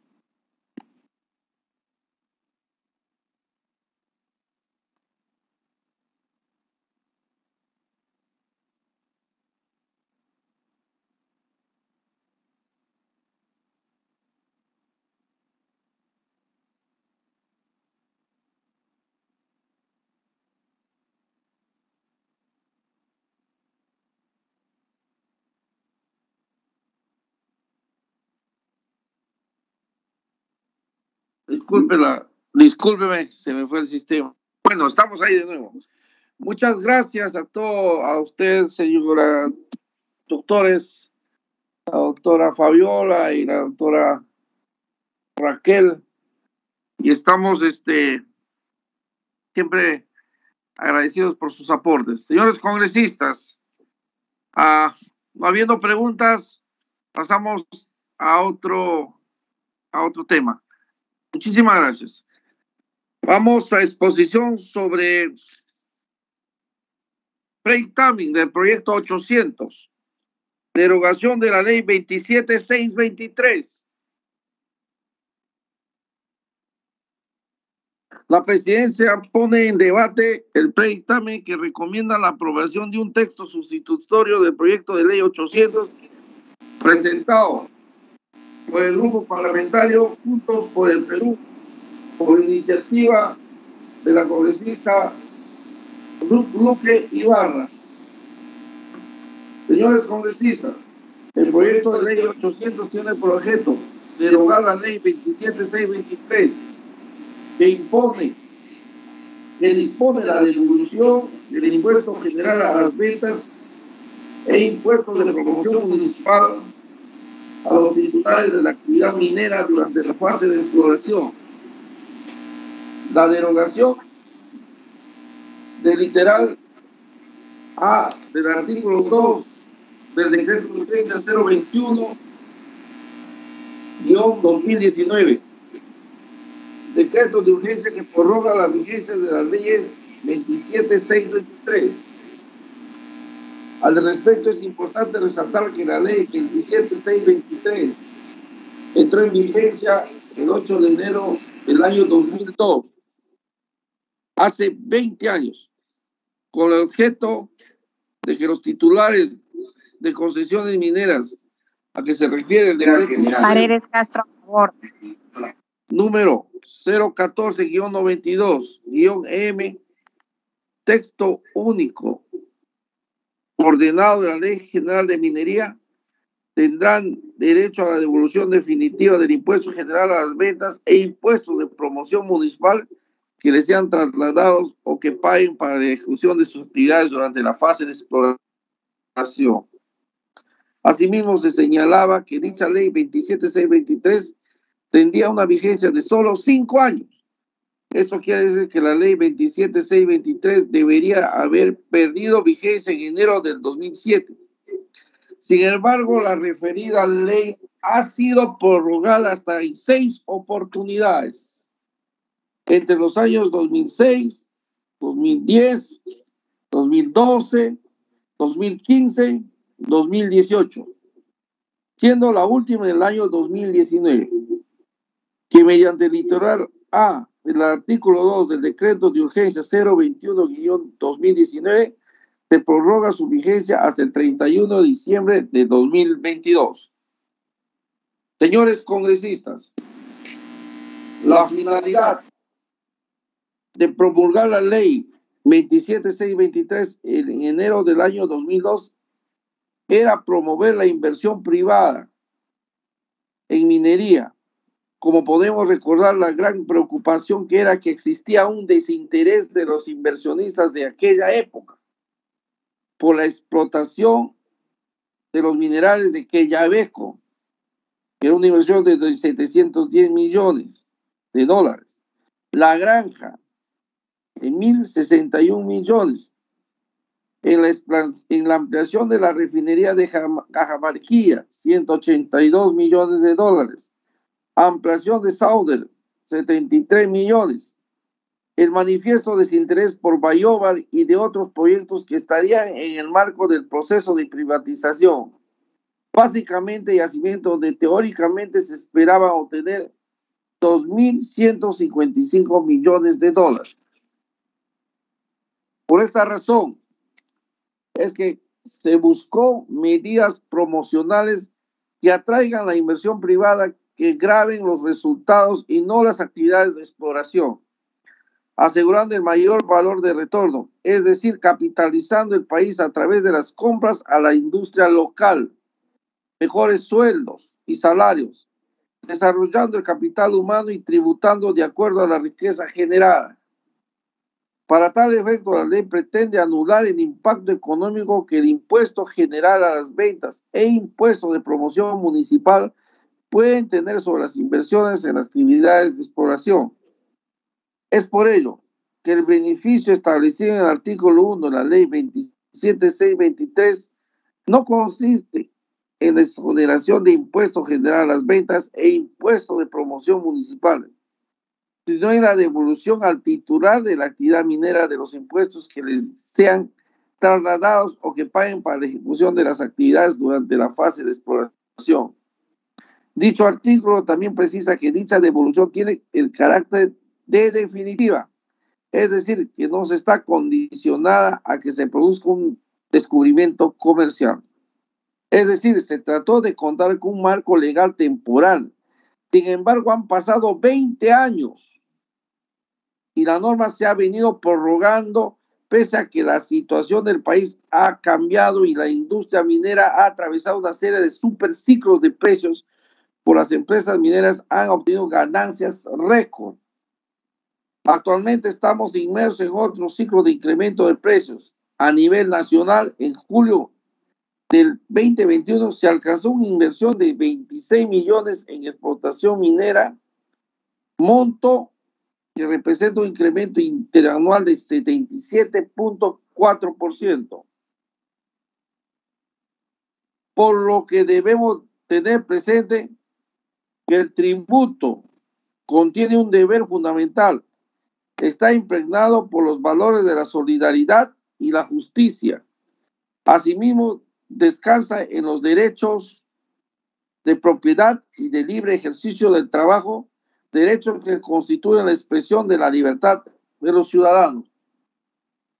Entonces, si pagar tributo es la regla general, los beneficios tributarios constituyen una excepción a la regla y por esta razón deben encontrarse debidamente justificados y resultar compatibles con el interés social plasmado en la constitución política del Perú. Según el Boletín Estadístico Minero, edición 02, número 02 del guion 2022, publicado por el Ministerio de Energía y Minas en su página web, el año 2021 significó un año de sólida recuperación para los países mineros, producto de la recuperación económica que impulsó el optimismo de los inversionismos sobre la perspectiva de la demanda mundial, así como los, los precios favorables de los principales metales en los mercados internacionales, los cuales lograron alcanzar máximos históricos durante el primer semestre de 2021. El rubro de exploración minera ejecutó 327 millones en 2021, superando en 51.5% lo ejecutado el año previo, 216 millones. Asimismo, el rubro mostró durante los cuatro trimestres del año un incremento continuo, permitiendo cerrar el 2021 con tendencia al alza. Por las consideraciones antes expuestas, la Comisión de Energía y Minas del Congreso de la República recomienda la aprobación del proyecto de ley 800-2021-CR con objeto, con el objeto de derogar la ley 27623, ley que dispone la devolución del impuesto general a las ventas e impuestos de promoción municipal a los titulares de la actividad minera durante la fase de exploración y dejar sin efecto la prórroga de su vigencia establecida por el decreto de urgencia 021-2019. Los congresistas que deseen intervenir sobre el tema pueden solicitarlo. Tiene la palabra señores congresistas. Congresista González Delgado. Sí, presidente, yo también y viene el congresista Murante Figari, y ahí viene el congresista Luque Ibarra. Aunque yo quisiera que exponga primero la congresista Luque Ibarra, porque ella es la que propuso esta ley. Congresista Luque Ibarra, por favor. Muchas gracias, presidente. Eh, bueno, agradezco en realidad poder eh, debatir alrededor de esta iniciativa legislativa, el predictamen que está proponiendo el equipo técnico de la comisión. Yo quisiera un poco eh, enfocar, digamos, en qué marco se presenta esta iniciativa legislativa. Como bien se ha señalado, esta ley 27623, que es una ley que dispone la devolución del impuesto general a las ventas e impuesto de promoción municipal a los titulares de la actividad minera durante la fase de exploración, tuvo como objeto que esos titulares de concesiones mineras, a que específicamente se refiere el decreto supremo 01492-EM, ¿no? que es referido al texto único ordenado de la Ley General de Minería, a que tengan precisamente este derecho a la devolución definitiva, tanto el impuesto general a las ventas y el impuesto de promoción municipal, que lo sean trasladados o que paguen para la ejecución de sus actividades durante la fase de exploración. En atención a eso, eh, presidente y colegas, quiero señalar que los titulares de concesiones mineras, digamos, para recibir este beneficio, se acogen y celebran un contrato de inversión con exploración con el Estado. Este contrato de inversión en exploración con el Estado es suscrito con la Dirección General de Minería y estos contratos serán pues de acuerdo a un modelo que se aprueba por resolución ministerial. Entonces, eh, esta ley, digamos, ha sido eh, ampliada de manera, como lo ha mencionado el dictamen, en seis oportunidades, ¿no? Y muchas de estas ampliaciones no tienen en, realidad una... Eh, una evaluación económica de qué es lo que significa, digamos, estas ampliaciones, porque prácticamente se hacen en automático. Y de hecho, la última se ha ampliado hasta diciembre del 2022. Yo quiero aquí este, señalar algunos otros puntos, porque seguramente algunos colegas dirán que se intenta ahuyentar con esto la actividad minera. Yo quiero mencionar que durante esta pandemia, este, durante el estado de emergencia, mm, se dijo, por ejemplo, que las empresas mineras iban a perder o iban a ganar menos. Y esto no es así, porque incluso para las actividades mineras eh, se dispuso un conjunto de medidas por parte del Estado para que sus actividades económicas continuaran. E incluso, pese a este duro impacto de lo que significó este, la pandemia con relación al sector, al sector minero, el rubro de exploración minera se ejecutó cerca de 223 millones de soles. Entonces, la inversión mensual en exploración cerró, por ejemplo, en el año 2020, que sería, digamos, el año donde tuvimos una, una pandemia más alta, con tendencia al alza y acumulando incluso los cuatro meses consecutivos de, crecimiento. Y de hecho, este crecimiento se mantiene, especialmente en lo que se refiere al tema de, eh, de cobre, por ejemplo, ¿no? Entonces, eh, esa posición de crecimiento se ha ido manteniendo. Y lo otro que quiero destacar es que, eh, bien saben varios colegas, que por lo menos yo sí vengo impulsando un conjunto de acciones para ver cómo es que en el marco de varias recomendaciones que ha dado el, eh, el Banco Mundial, el debate que se dio el año pasado con relación a cómo mejorar los términos de recaudación fiscal por parte del Estado, si iniciamos un debate serio de qué hacemos con este conjunto de, eh, eh, de lógicas de devoluciones, exoneraciones que se han generado durante muchos años. y que han ido manteniéndose este, de manera automática, ¿no? Sin tener una claridad de cuánto el Estado deja de recaudar. Y ese es en realidad el propósito, digamos, de esta iniciativa legislativa que, este, que entiendo que hay, digamos, varias opiniones que van en una línea contraria, digamos, pero que me parece a mí, me parece importante porque permite colocar en la agenda este, si realmente estos, estas eh, leyes que se han dado en un momento determinado para atraer la inversión, en este momento necesitamos seguir manteniendo esos, mismas, eh, esos mismos beneficios si necesitamos seguir generando estas devoluciones eh, que, se, eh, las que gozan las empresas mineras y que en la práctica el Estado podría mejorar su recaudación. Este, así como se han generado debates, por ejemplo, respecto al tema de las FPS en su momento, cuando se habló de las devoluciones de los aportes, se dijo que las FPS iban a quebrar, no pasó nada de eso. Entonces creemos que en el caso de esta iniciativa legislativa que he presentado va precisamente en esta orientación de cómo mejoramos eh, los temas de recaudación, cómo es que se abre también un debate serio de lo que significa estas devoluciones que se mantienen desde hace mucho tiempo y que permanecen en el momento y que desde mi opinión no deberían seguir gozando. Es decir, porque hemos ido haciendo ampliaciones tras ampliación. Entonces, ese es un poco el enfoque, este, presidente, colegas, este, eh, que ha animado, digamos, el espíritu de esta iniciativa legislativa. Muchas gracias. Muchas gracias, congresista Luque. Ahora tiene la palabra la congresista González, por favor. Gracias, señor presidente. Saludar también a, todos los colegas. Primero, eh, no sé si por un error de tipeo de pronto hay algún sustento, porque en la fórmula normativa, en el artículo 2, señala deróguese la ley 27623, ley que dispone la devolución del impuesto general a las ventas, impuesto de promoción municipal a los títulos de la actividad minera, durante la fase de explotación, cuando la referida ley hace referencia a la fase de exploración. Y de hecho, esta ley fue dada no con el objetivo de combatir la ilusión o evasión tributaria, como al parecer se menciona en una parte del predictamen, sino que se dio con un único objetivo, fomentar nuevos proyectos mineros, ya que, como bien se señala, nuestro país es rico en minerales. ¿Esta ley dio resultado? Sí, pues a partir de su expedición se dio más exploración y también se dieron más proyectos mineros que fueron los grandes responsables de que nuestro país a nivel macroeconómico creciera sorprendentemente y que la pobreza pasara del 59% al 20% en los años 2009-2019 y la pobreza extrema del 11 al 3%. ¿Aún hay cosas por mejorar? Por supuesto que sí, toda vez que la inequidad no se redujo de manera importante, por lo que hay que idear estrategias que mejoren la distribución de la riqueza. Por otro lado, los minerales son commodities, cuyo valor puede estar hoy muy alto o mañana mucho menor.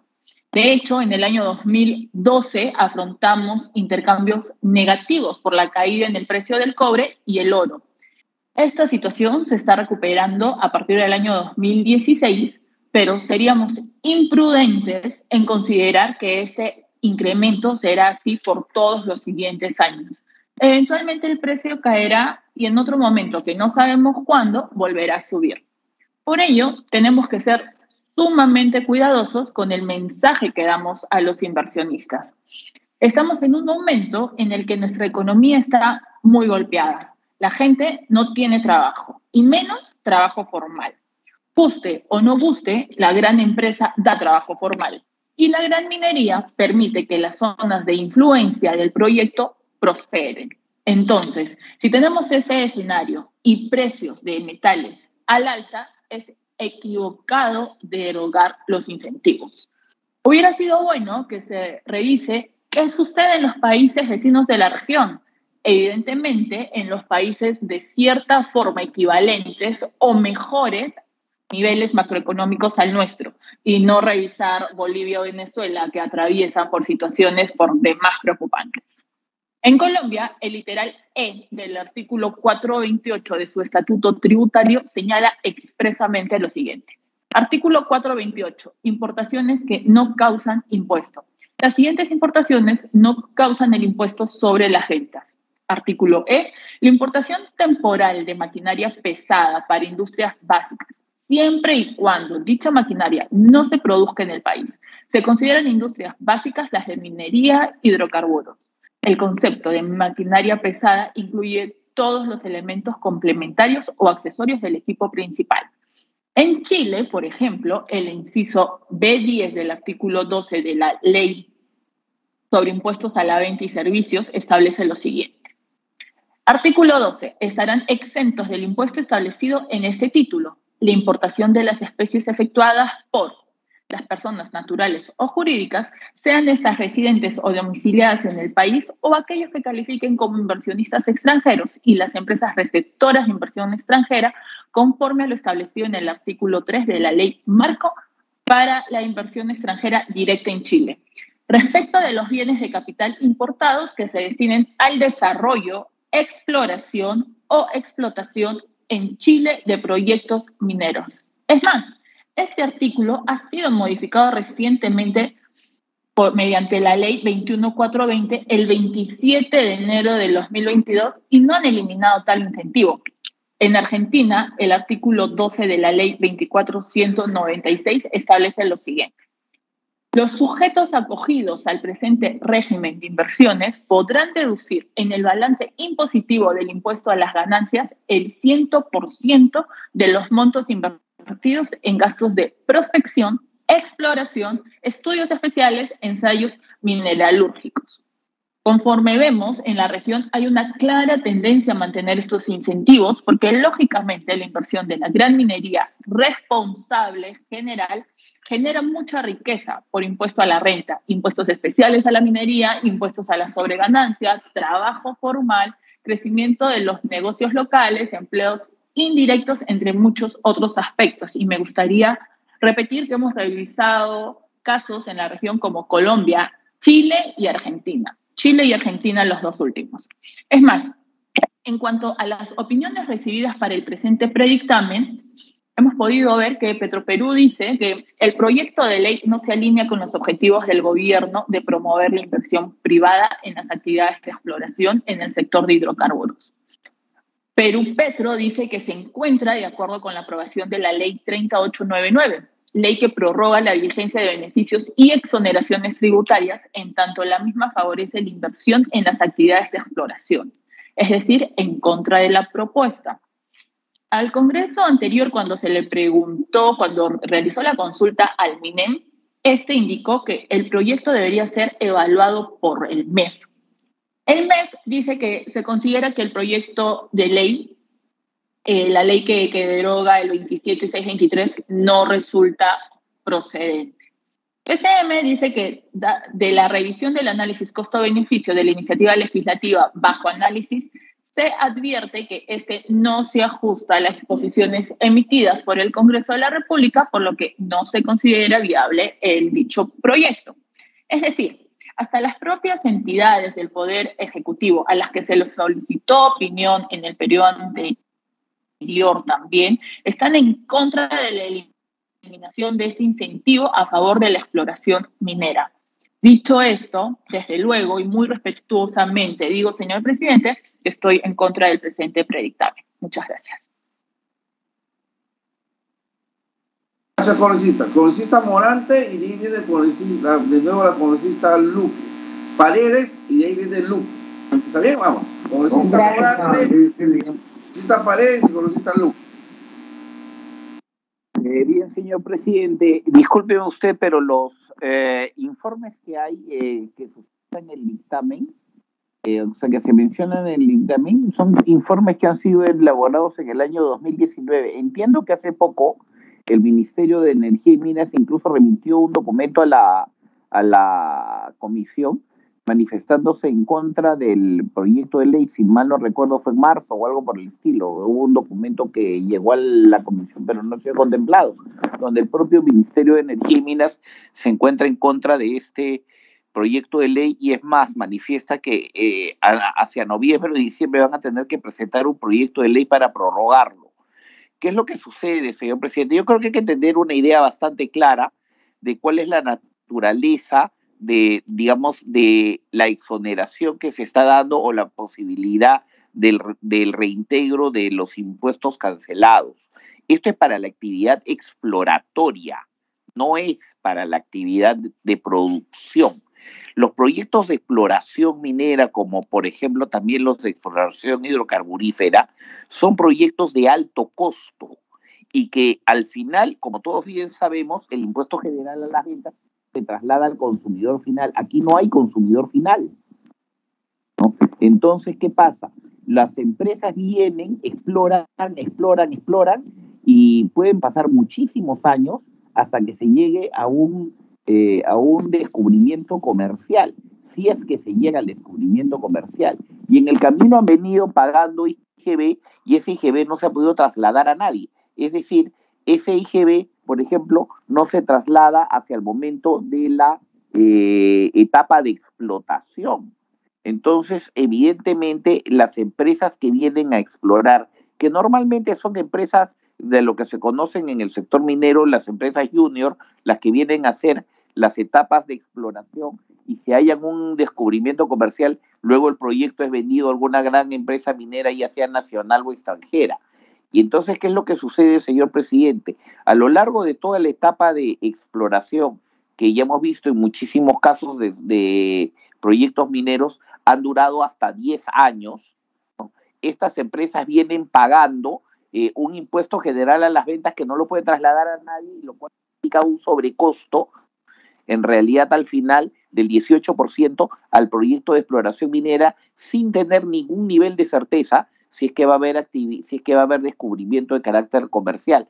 Esa fue de una u otra manera la motivación que generó la posibilidad de aplicar esta ley, que era la de la devolución del impuesto general a las ventas por los bienes o servicios que las empresas, eh, las empresas que se dedican a la exploración eh, pudieran recibir como un incentivo. Y es más, eh, de, de, alguna manera las e, obliga a que estas empresas obviamente contraten bienes y servicios dentro de la actividad formal, porque si no lo hicieran así, no tendrían derecho a ningún tipo de devolución, ya que solamente la actividad formal les puede reemitir facturas. ¿Eso qué significa? Que nuestras las empresas que vienen a hacer la, la exploración minera de una manera de, dinamizan, dinamizan nuestra economía, ya que al contratar a las empresas locales para diferentes bienes y servicios, están generando un ingreso. Y efectivamente, como bien señala la congresista Luque, ha habido un crecimiento en la exploración. ¿Y eso qué, qué es lo que nos eh, dice? Que evidentemente están contratando más bienes y servicios al interior del país para poder, eh, digamos, eh, dinamizar nuestra economía si, eliminamos este incentivo, ¿qué es lo que va a suceder? Vamos a hacer que el procedimiento de la inversión para la exploración minera cueste un 18% más, que sea mucho más costoso para las empresas que vienen a hacer una inversión sobre algo que todavía ni siquiera es eh, factible, es decir, sobre algo que todavía está, digamos, en, veremos si es que se va a encontrar algún tipo de yacimiento que sea eh, comercial explotarlo. Por lo tanto, la eliminación de este beneficio evidentemente perjudica la posibilidad de contar con mayor inversión eh, en la etapa de exploración. Si ya luego se contrae el área comercial y se tiene que vender o trasladar eh, esto a otra empresa, pues obviamente ahí le van a cobrar el IGB y el, y el Estado va a poder cobrar el 100% de ese IGB. ¿no? Pero, ¿Por qué? Porque ya le hicieron la devolución del IGB anteriormente. Es decir, igual ese IGB se va a pagar en tanto se encuentre un desarrollo comercial. Entonces, señor presidente, yo creo que este proyecto debería ser desestimado. Por otra parte, entiendo también que la Sociedad Nacional de Minería, Petróleo y Energía ha solicitado eh, que se le invite para poder expresar su posición con respecto a este tema y creo que sería pertinente antes de poder votar esto, eh, poder también escucharlos. Ellos también tienen su data, con la cual creo que podríamos tener una, un, mayor, un mejor criterio al momento de resolver este tema. Además, si, este, si esta norma va a vencer en diciembre, eh, que ya prácticamente nos faltan seis meses, eh, ¿qué sentido tendría hacerlo ahora cuando es más, incluso el propio Ministerio de Energía y Minas señala que van a necesitar de que se, se vuelva a, a prorrogar la, disculpe. De la exoneración. Eh, creo, señor presidente, que sería importante todo esto y considero que no, eh, el proyecto de ley eh, realmente perjudicaría la posibilidad de la exploración minera, que, no, que tengamos en cuenta que es de muy largo plazo y que no tiene un retorno garantizado, ¿no? Muy bien. Ok, señor congresista Morante. Tiene la, la palabra la congresista Paredes, por favor. Congresista Paredes, ¿está?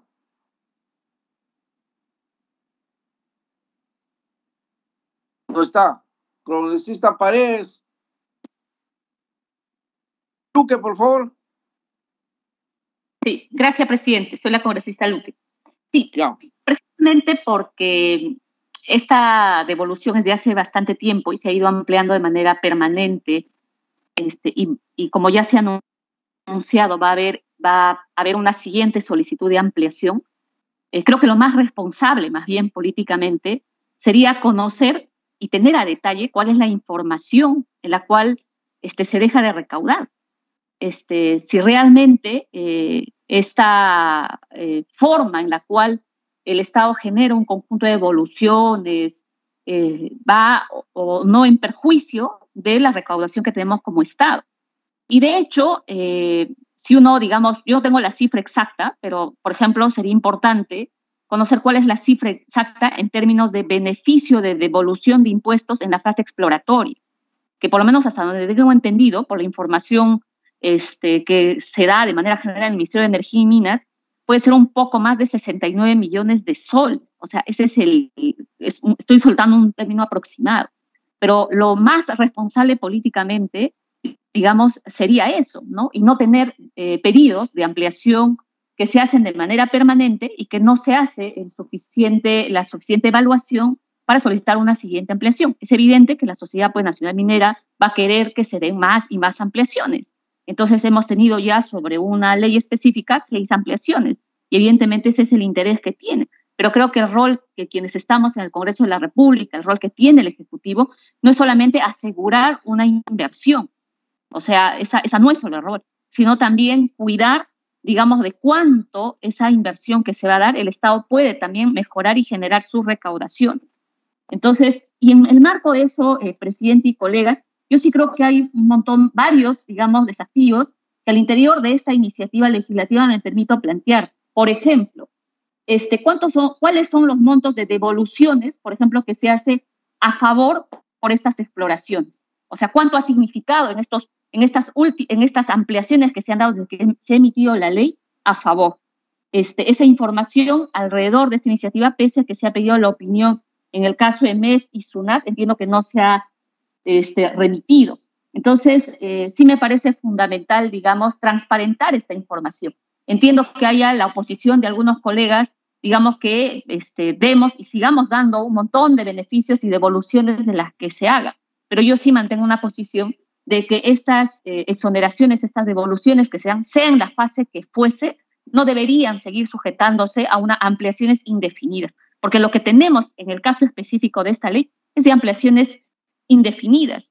Y, eh, y, así como se mantiene quienes gozan pues, de estabilidad tributaria, que hasta el momento también son intocables. Gracias. Señor presidente.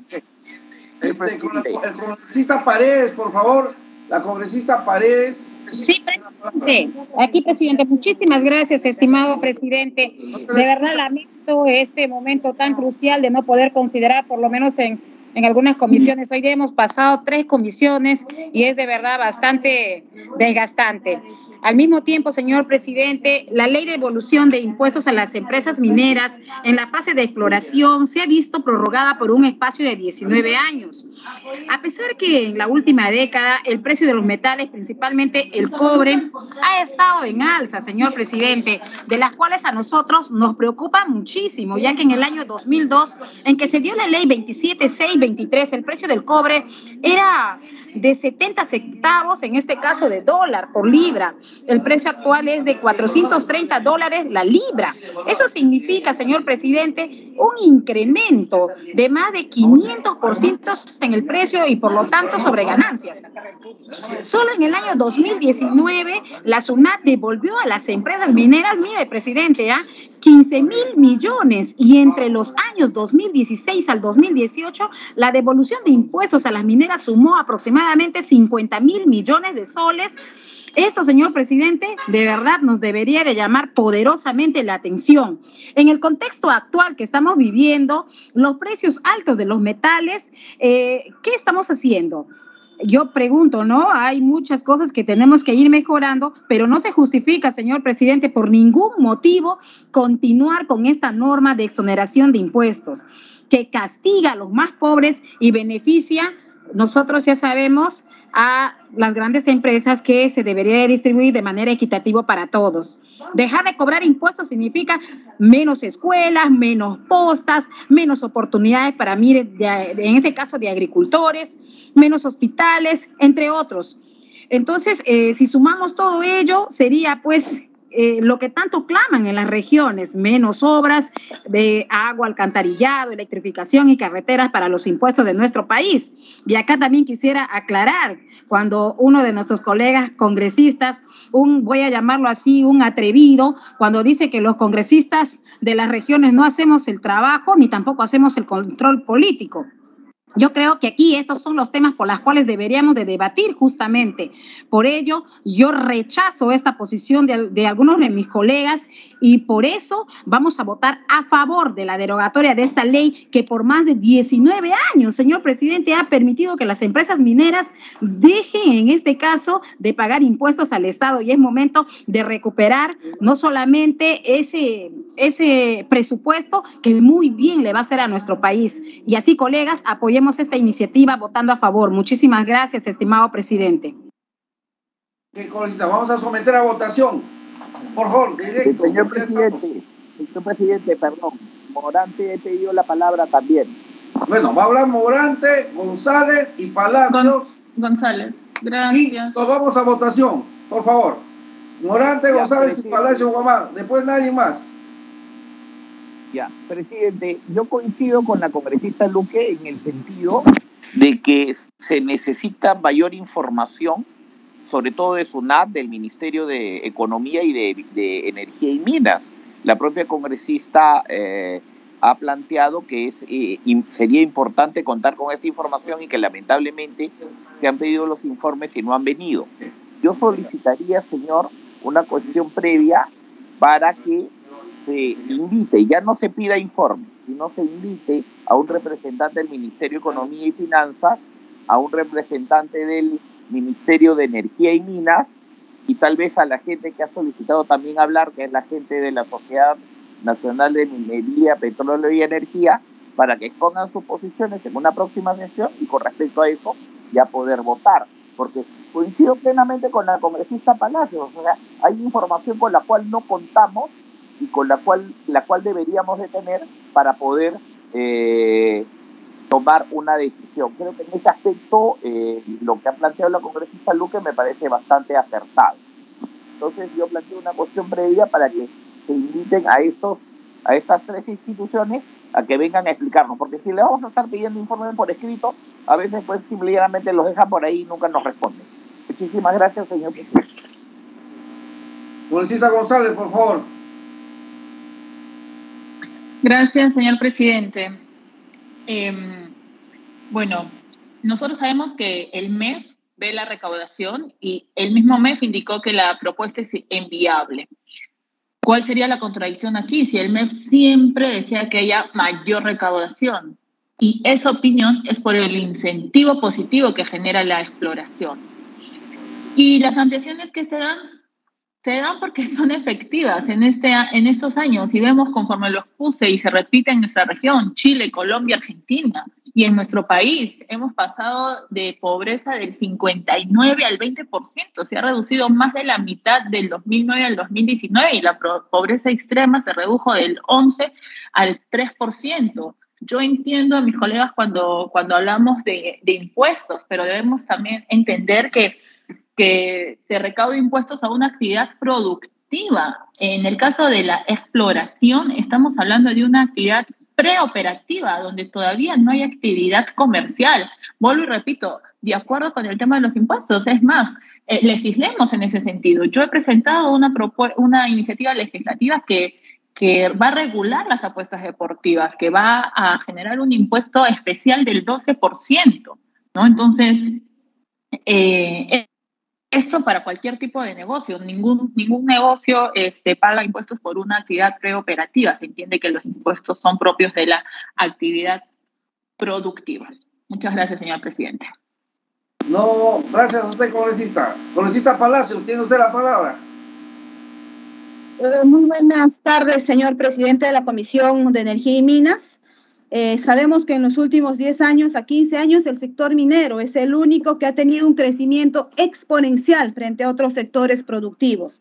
La ley número 27623 fue aprobada en el año 2002 para una vigencia de tan solo cinco años pero sin embargo se debe aclarar que este fue de manera temporal, pero ya tenemos casi 20 años, por lo que han obtenido ganancias y manteniendo estos beneficios estos sectores mineros. Sin embargo, el Perú ha sacrificado ingresos que hubieran sido destinados al gasto público en la satisfacción de necesidades colectivas del país. Así, el país está sacrificando el desarrollo humano de su población para impulsar sectores mineros con el contrasentido de que el boom de la minería resulta ahora asociado a la crisis medioambiental que vivimos en las zonas de, nuestros país, de nuestro país, que se ha dado en llamar corredores mineros y que al mismo tiempo se han convertido en lugares altamente contaminados que hacen imposible la vida normal de sus habitantes como de la fauna y de la flora.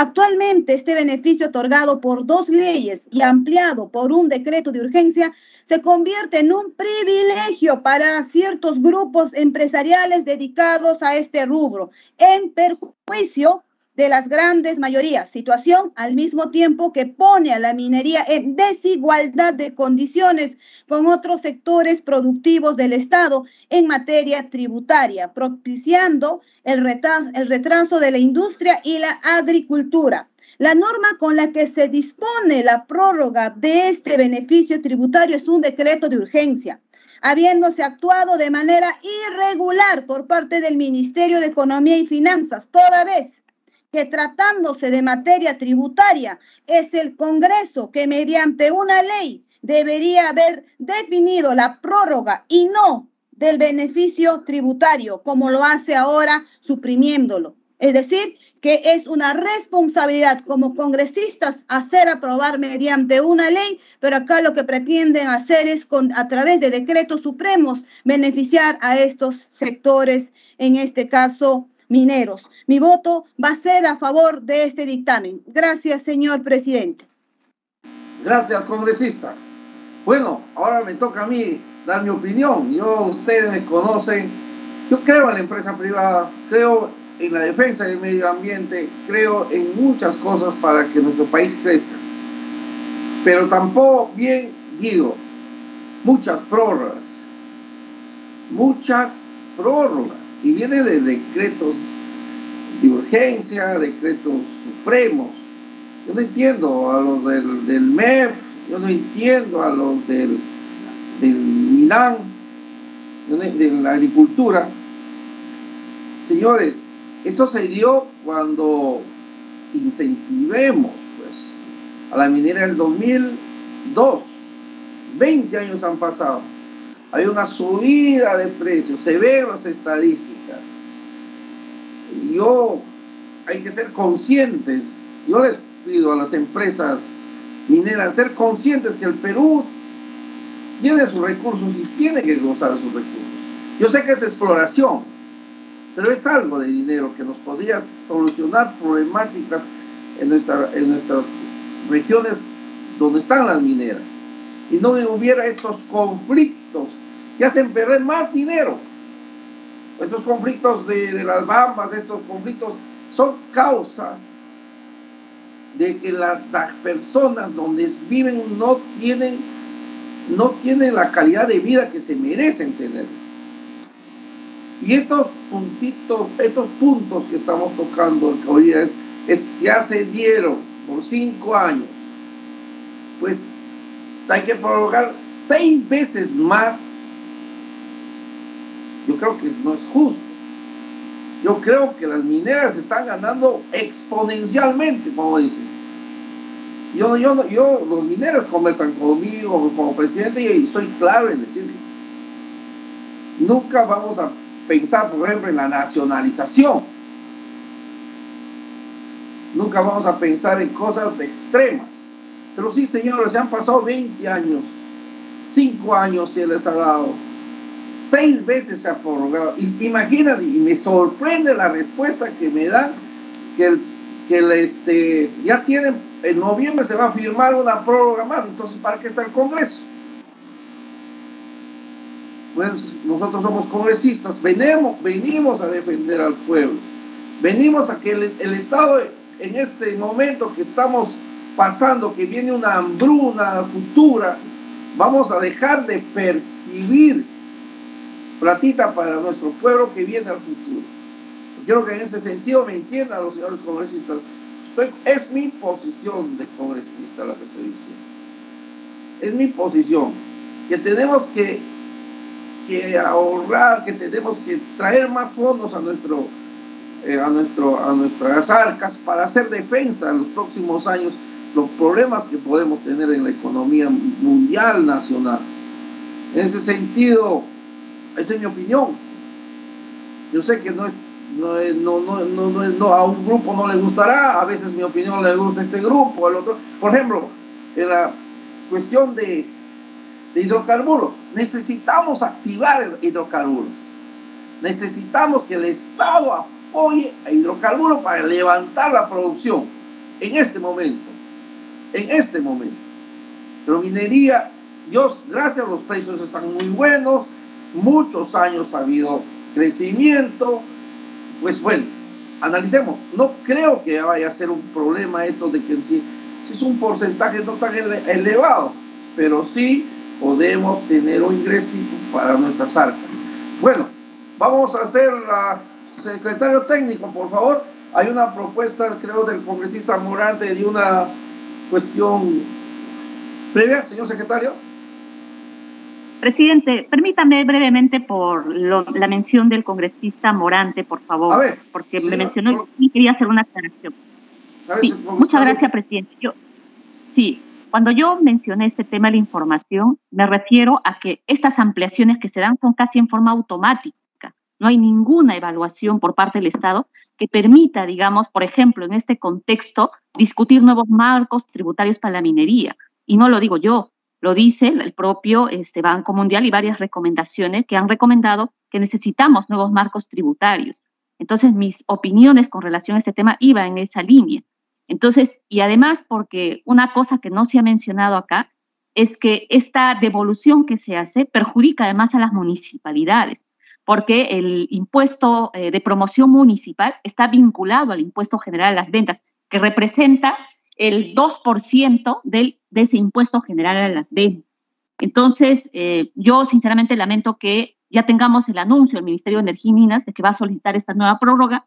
Bueno, queda claro pues cuál es la orientación al parecer que se busca y donde en realidad lo que deberíamos más bien este, ver es cómo eh, se evalúa, ¿no es cierto? Y no se hace de manera automática estas devoluciones. Yo me mantengo en mi posición, yo sí creo que no podemos seguir manteniendo esta lógica de devoluciones prácticamente en piloto automático y, repitiendo lo mismo de siempre, ¿no? Creyendo que se va a ahuyentar, creyendo que se va a mejorar, cuando en pandemia ha quedado claro que las empresas mineras han seguido ganando. Y lo dicen los datos económicos. Gracias, presidente.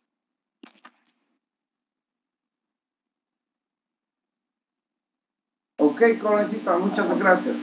Vamos a votar cuestión previa, ¿no? Ah, sí, porque hay una solicitud. Señor secretario técnico, por favor.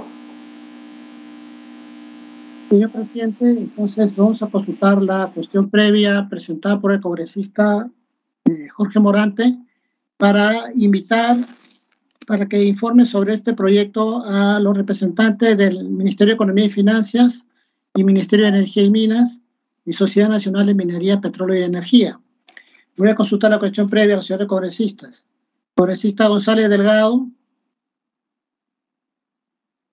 A favor. Congresista Salguana Cavides.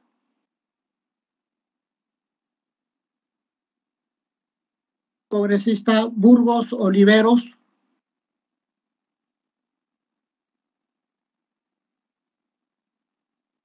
Congresista Camones Soriano.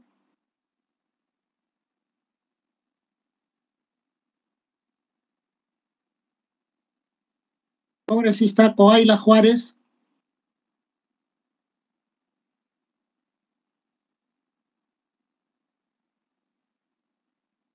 Congresista Cruz Mamani.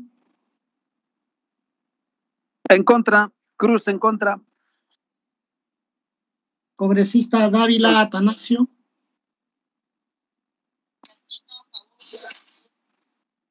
Abstención. Congresista Flores Ancachi.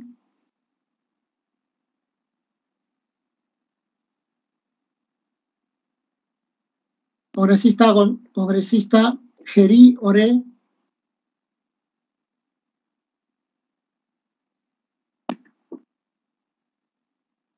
Congresista López Morales. López Morales a favor de la cuestión previa. Congresista Luque Ibarra. En contra. Congresista Morante Figari. A favor. Congresista Padilla Romero. Padilla Romero a favor. Congresista Palacios Guamán. En contra de la cuestión previa. Congresista Paredes Castro. También en contra de la cuestión previa. Congresista Revilla Villanueva. A favor. Congresista Ceballos Madariaga.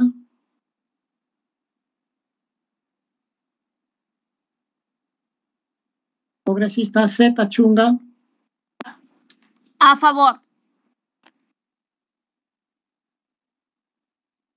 Segundo llamado, no han contestado todos los congresistas. Perdón, congresista Alba Castro, el sentido, perdón, Alba Rojas, el sentido de su voto, señor presidente. En contra. Señor, secretario, voy hay a- dos votos por el chat. Sí, primero voy a terminar de eh, llamar en segunda votación, señor presidente. Eh, congresista, eh, perdón, congresista Salguana Cavides está expresando su voto a favor de la cuestión previa, voy a registrarlo. Congresista Burgos Oliveros, Sabemos que es altísimo. Para grandes producciones, grandes volúmenes, sí, existe una cadena Soriano, muy organizada, ¿no? Los servicios tecnológicos, las empresas de, de seguridad, Hermes, ¿no? Que pueden congresista Juárez, producciones de grande estilo, ¿no? Pero para Presidente, habla el congresista Montalvo, no me han llamado. Mi voto es en contra. Congresista Coila, en contra. Congresista Montalvo, mi voto es en contra. Soy el titular de Energía y Minas.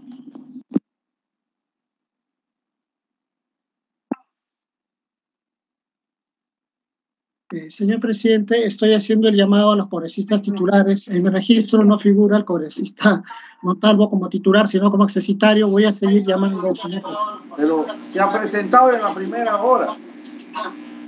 Eh, secretario, por favor, revise la página. Soy titular desde el día jueves. El congresista Montalvo, por favor, revise la página, Es secretario. titular el señor secretario técnico. Es titular el señor Montalvo.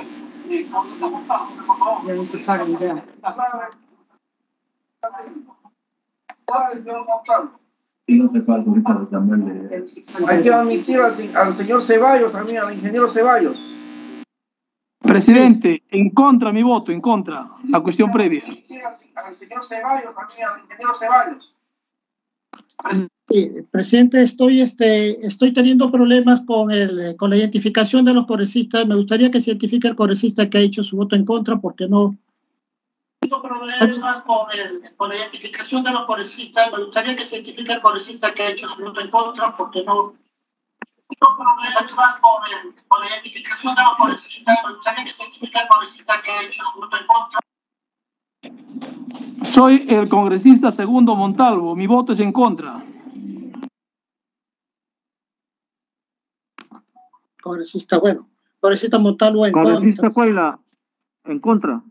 En contra. Congresista Flores Ancachi, en sentido de su voto.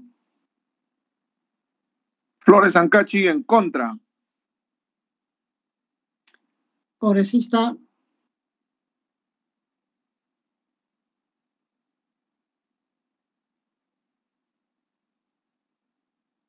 Congresista Ceballos Madariaga.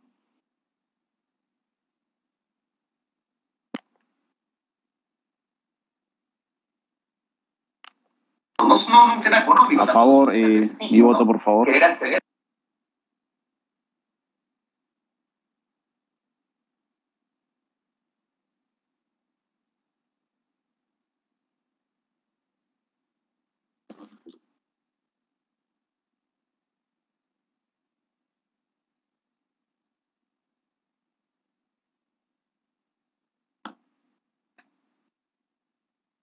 Señor presidente, eh, estoy considerando el voto del congresista Geri Ore a través del chat a favor de la cuestión previa. Geri Ore a favor de la cuestión previa.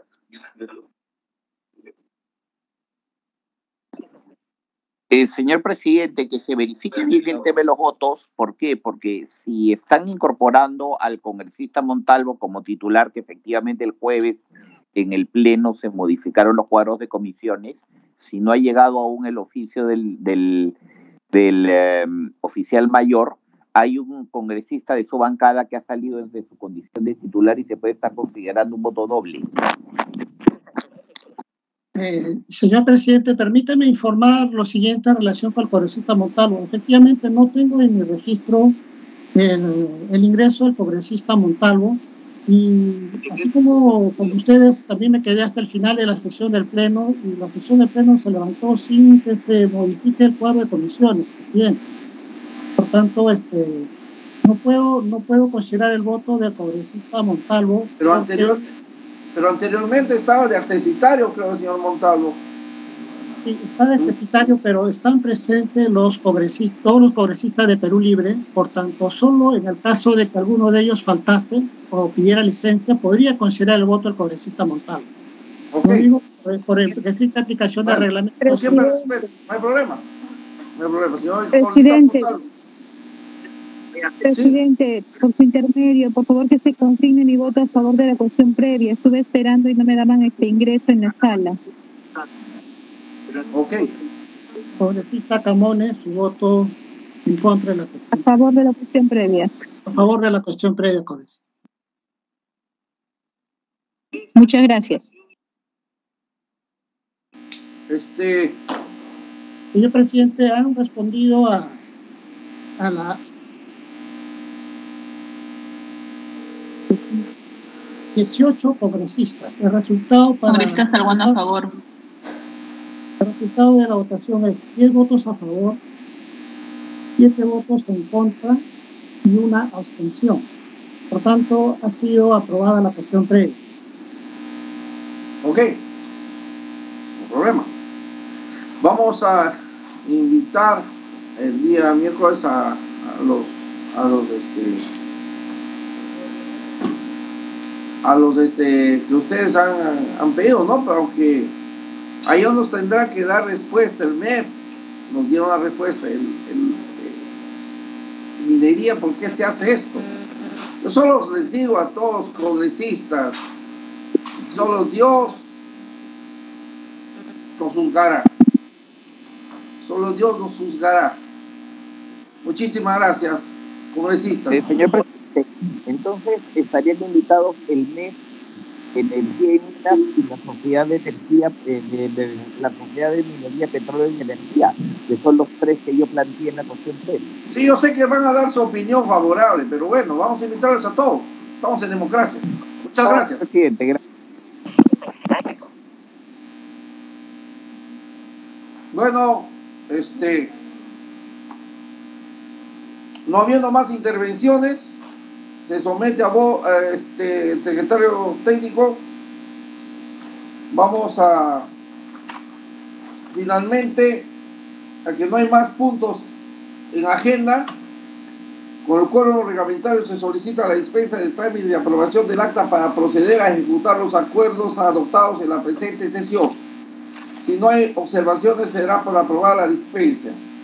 No habiendo observaciones, ha sido aprobada la dispensa de aprobación del acta, siendo las 1 y 10 de la tarde, eh, se levanta la sesión. Muchísimas gracias, señores congresistas. Hasta el día miércoles. Y no se olviden, el día viernes, del 10 de junio, vamos a tener una sesión extraordinaria relativa a las bambas que fue solicitado. Muchísimas gracias a todos. Muchas gracias. Hasta luego. Gracias, señor presidente. Buenas tardes. Oh. Gracias. Gracias, presidente. Buenas tardes a todos los colegas. Vamos.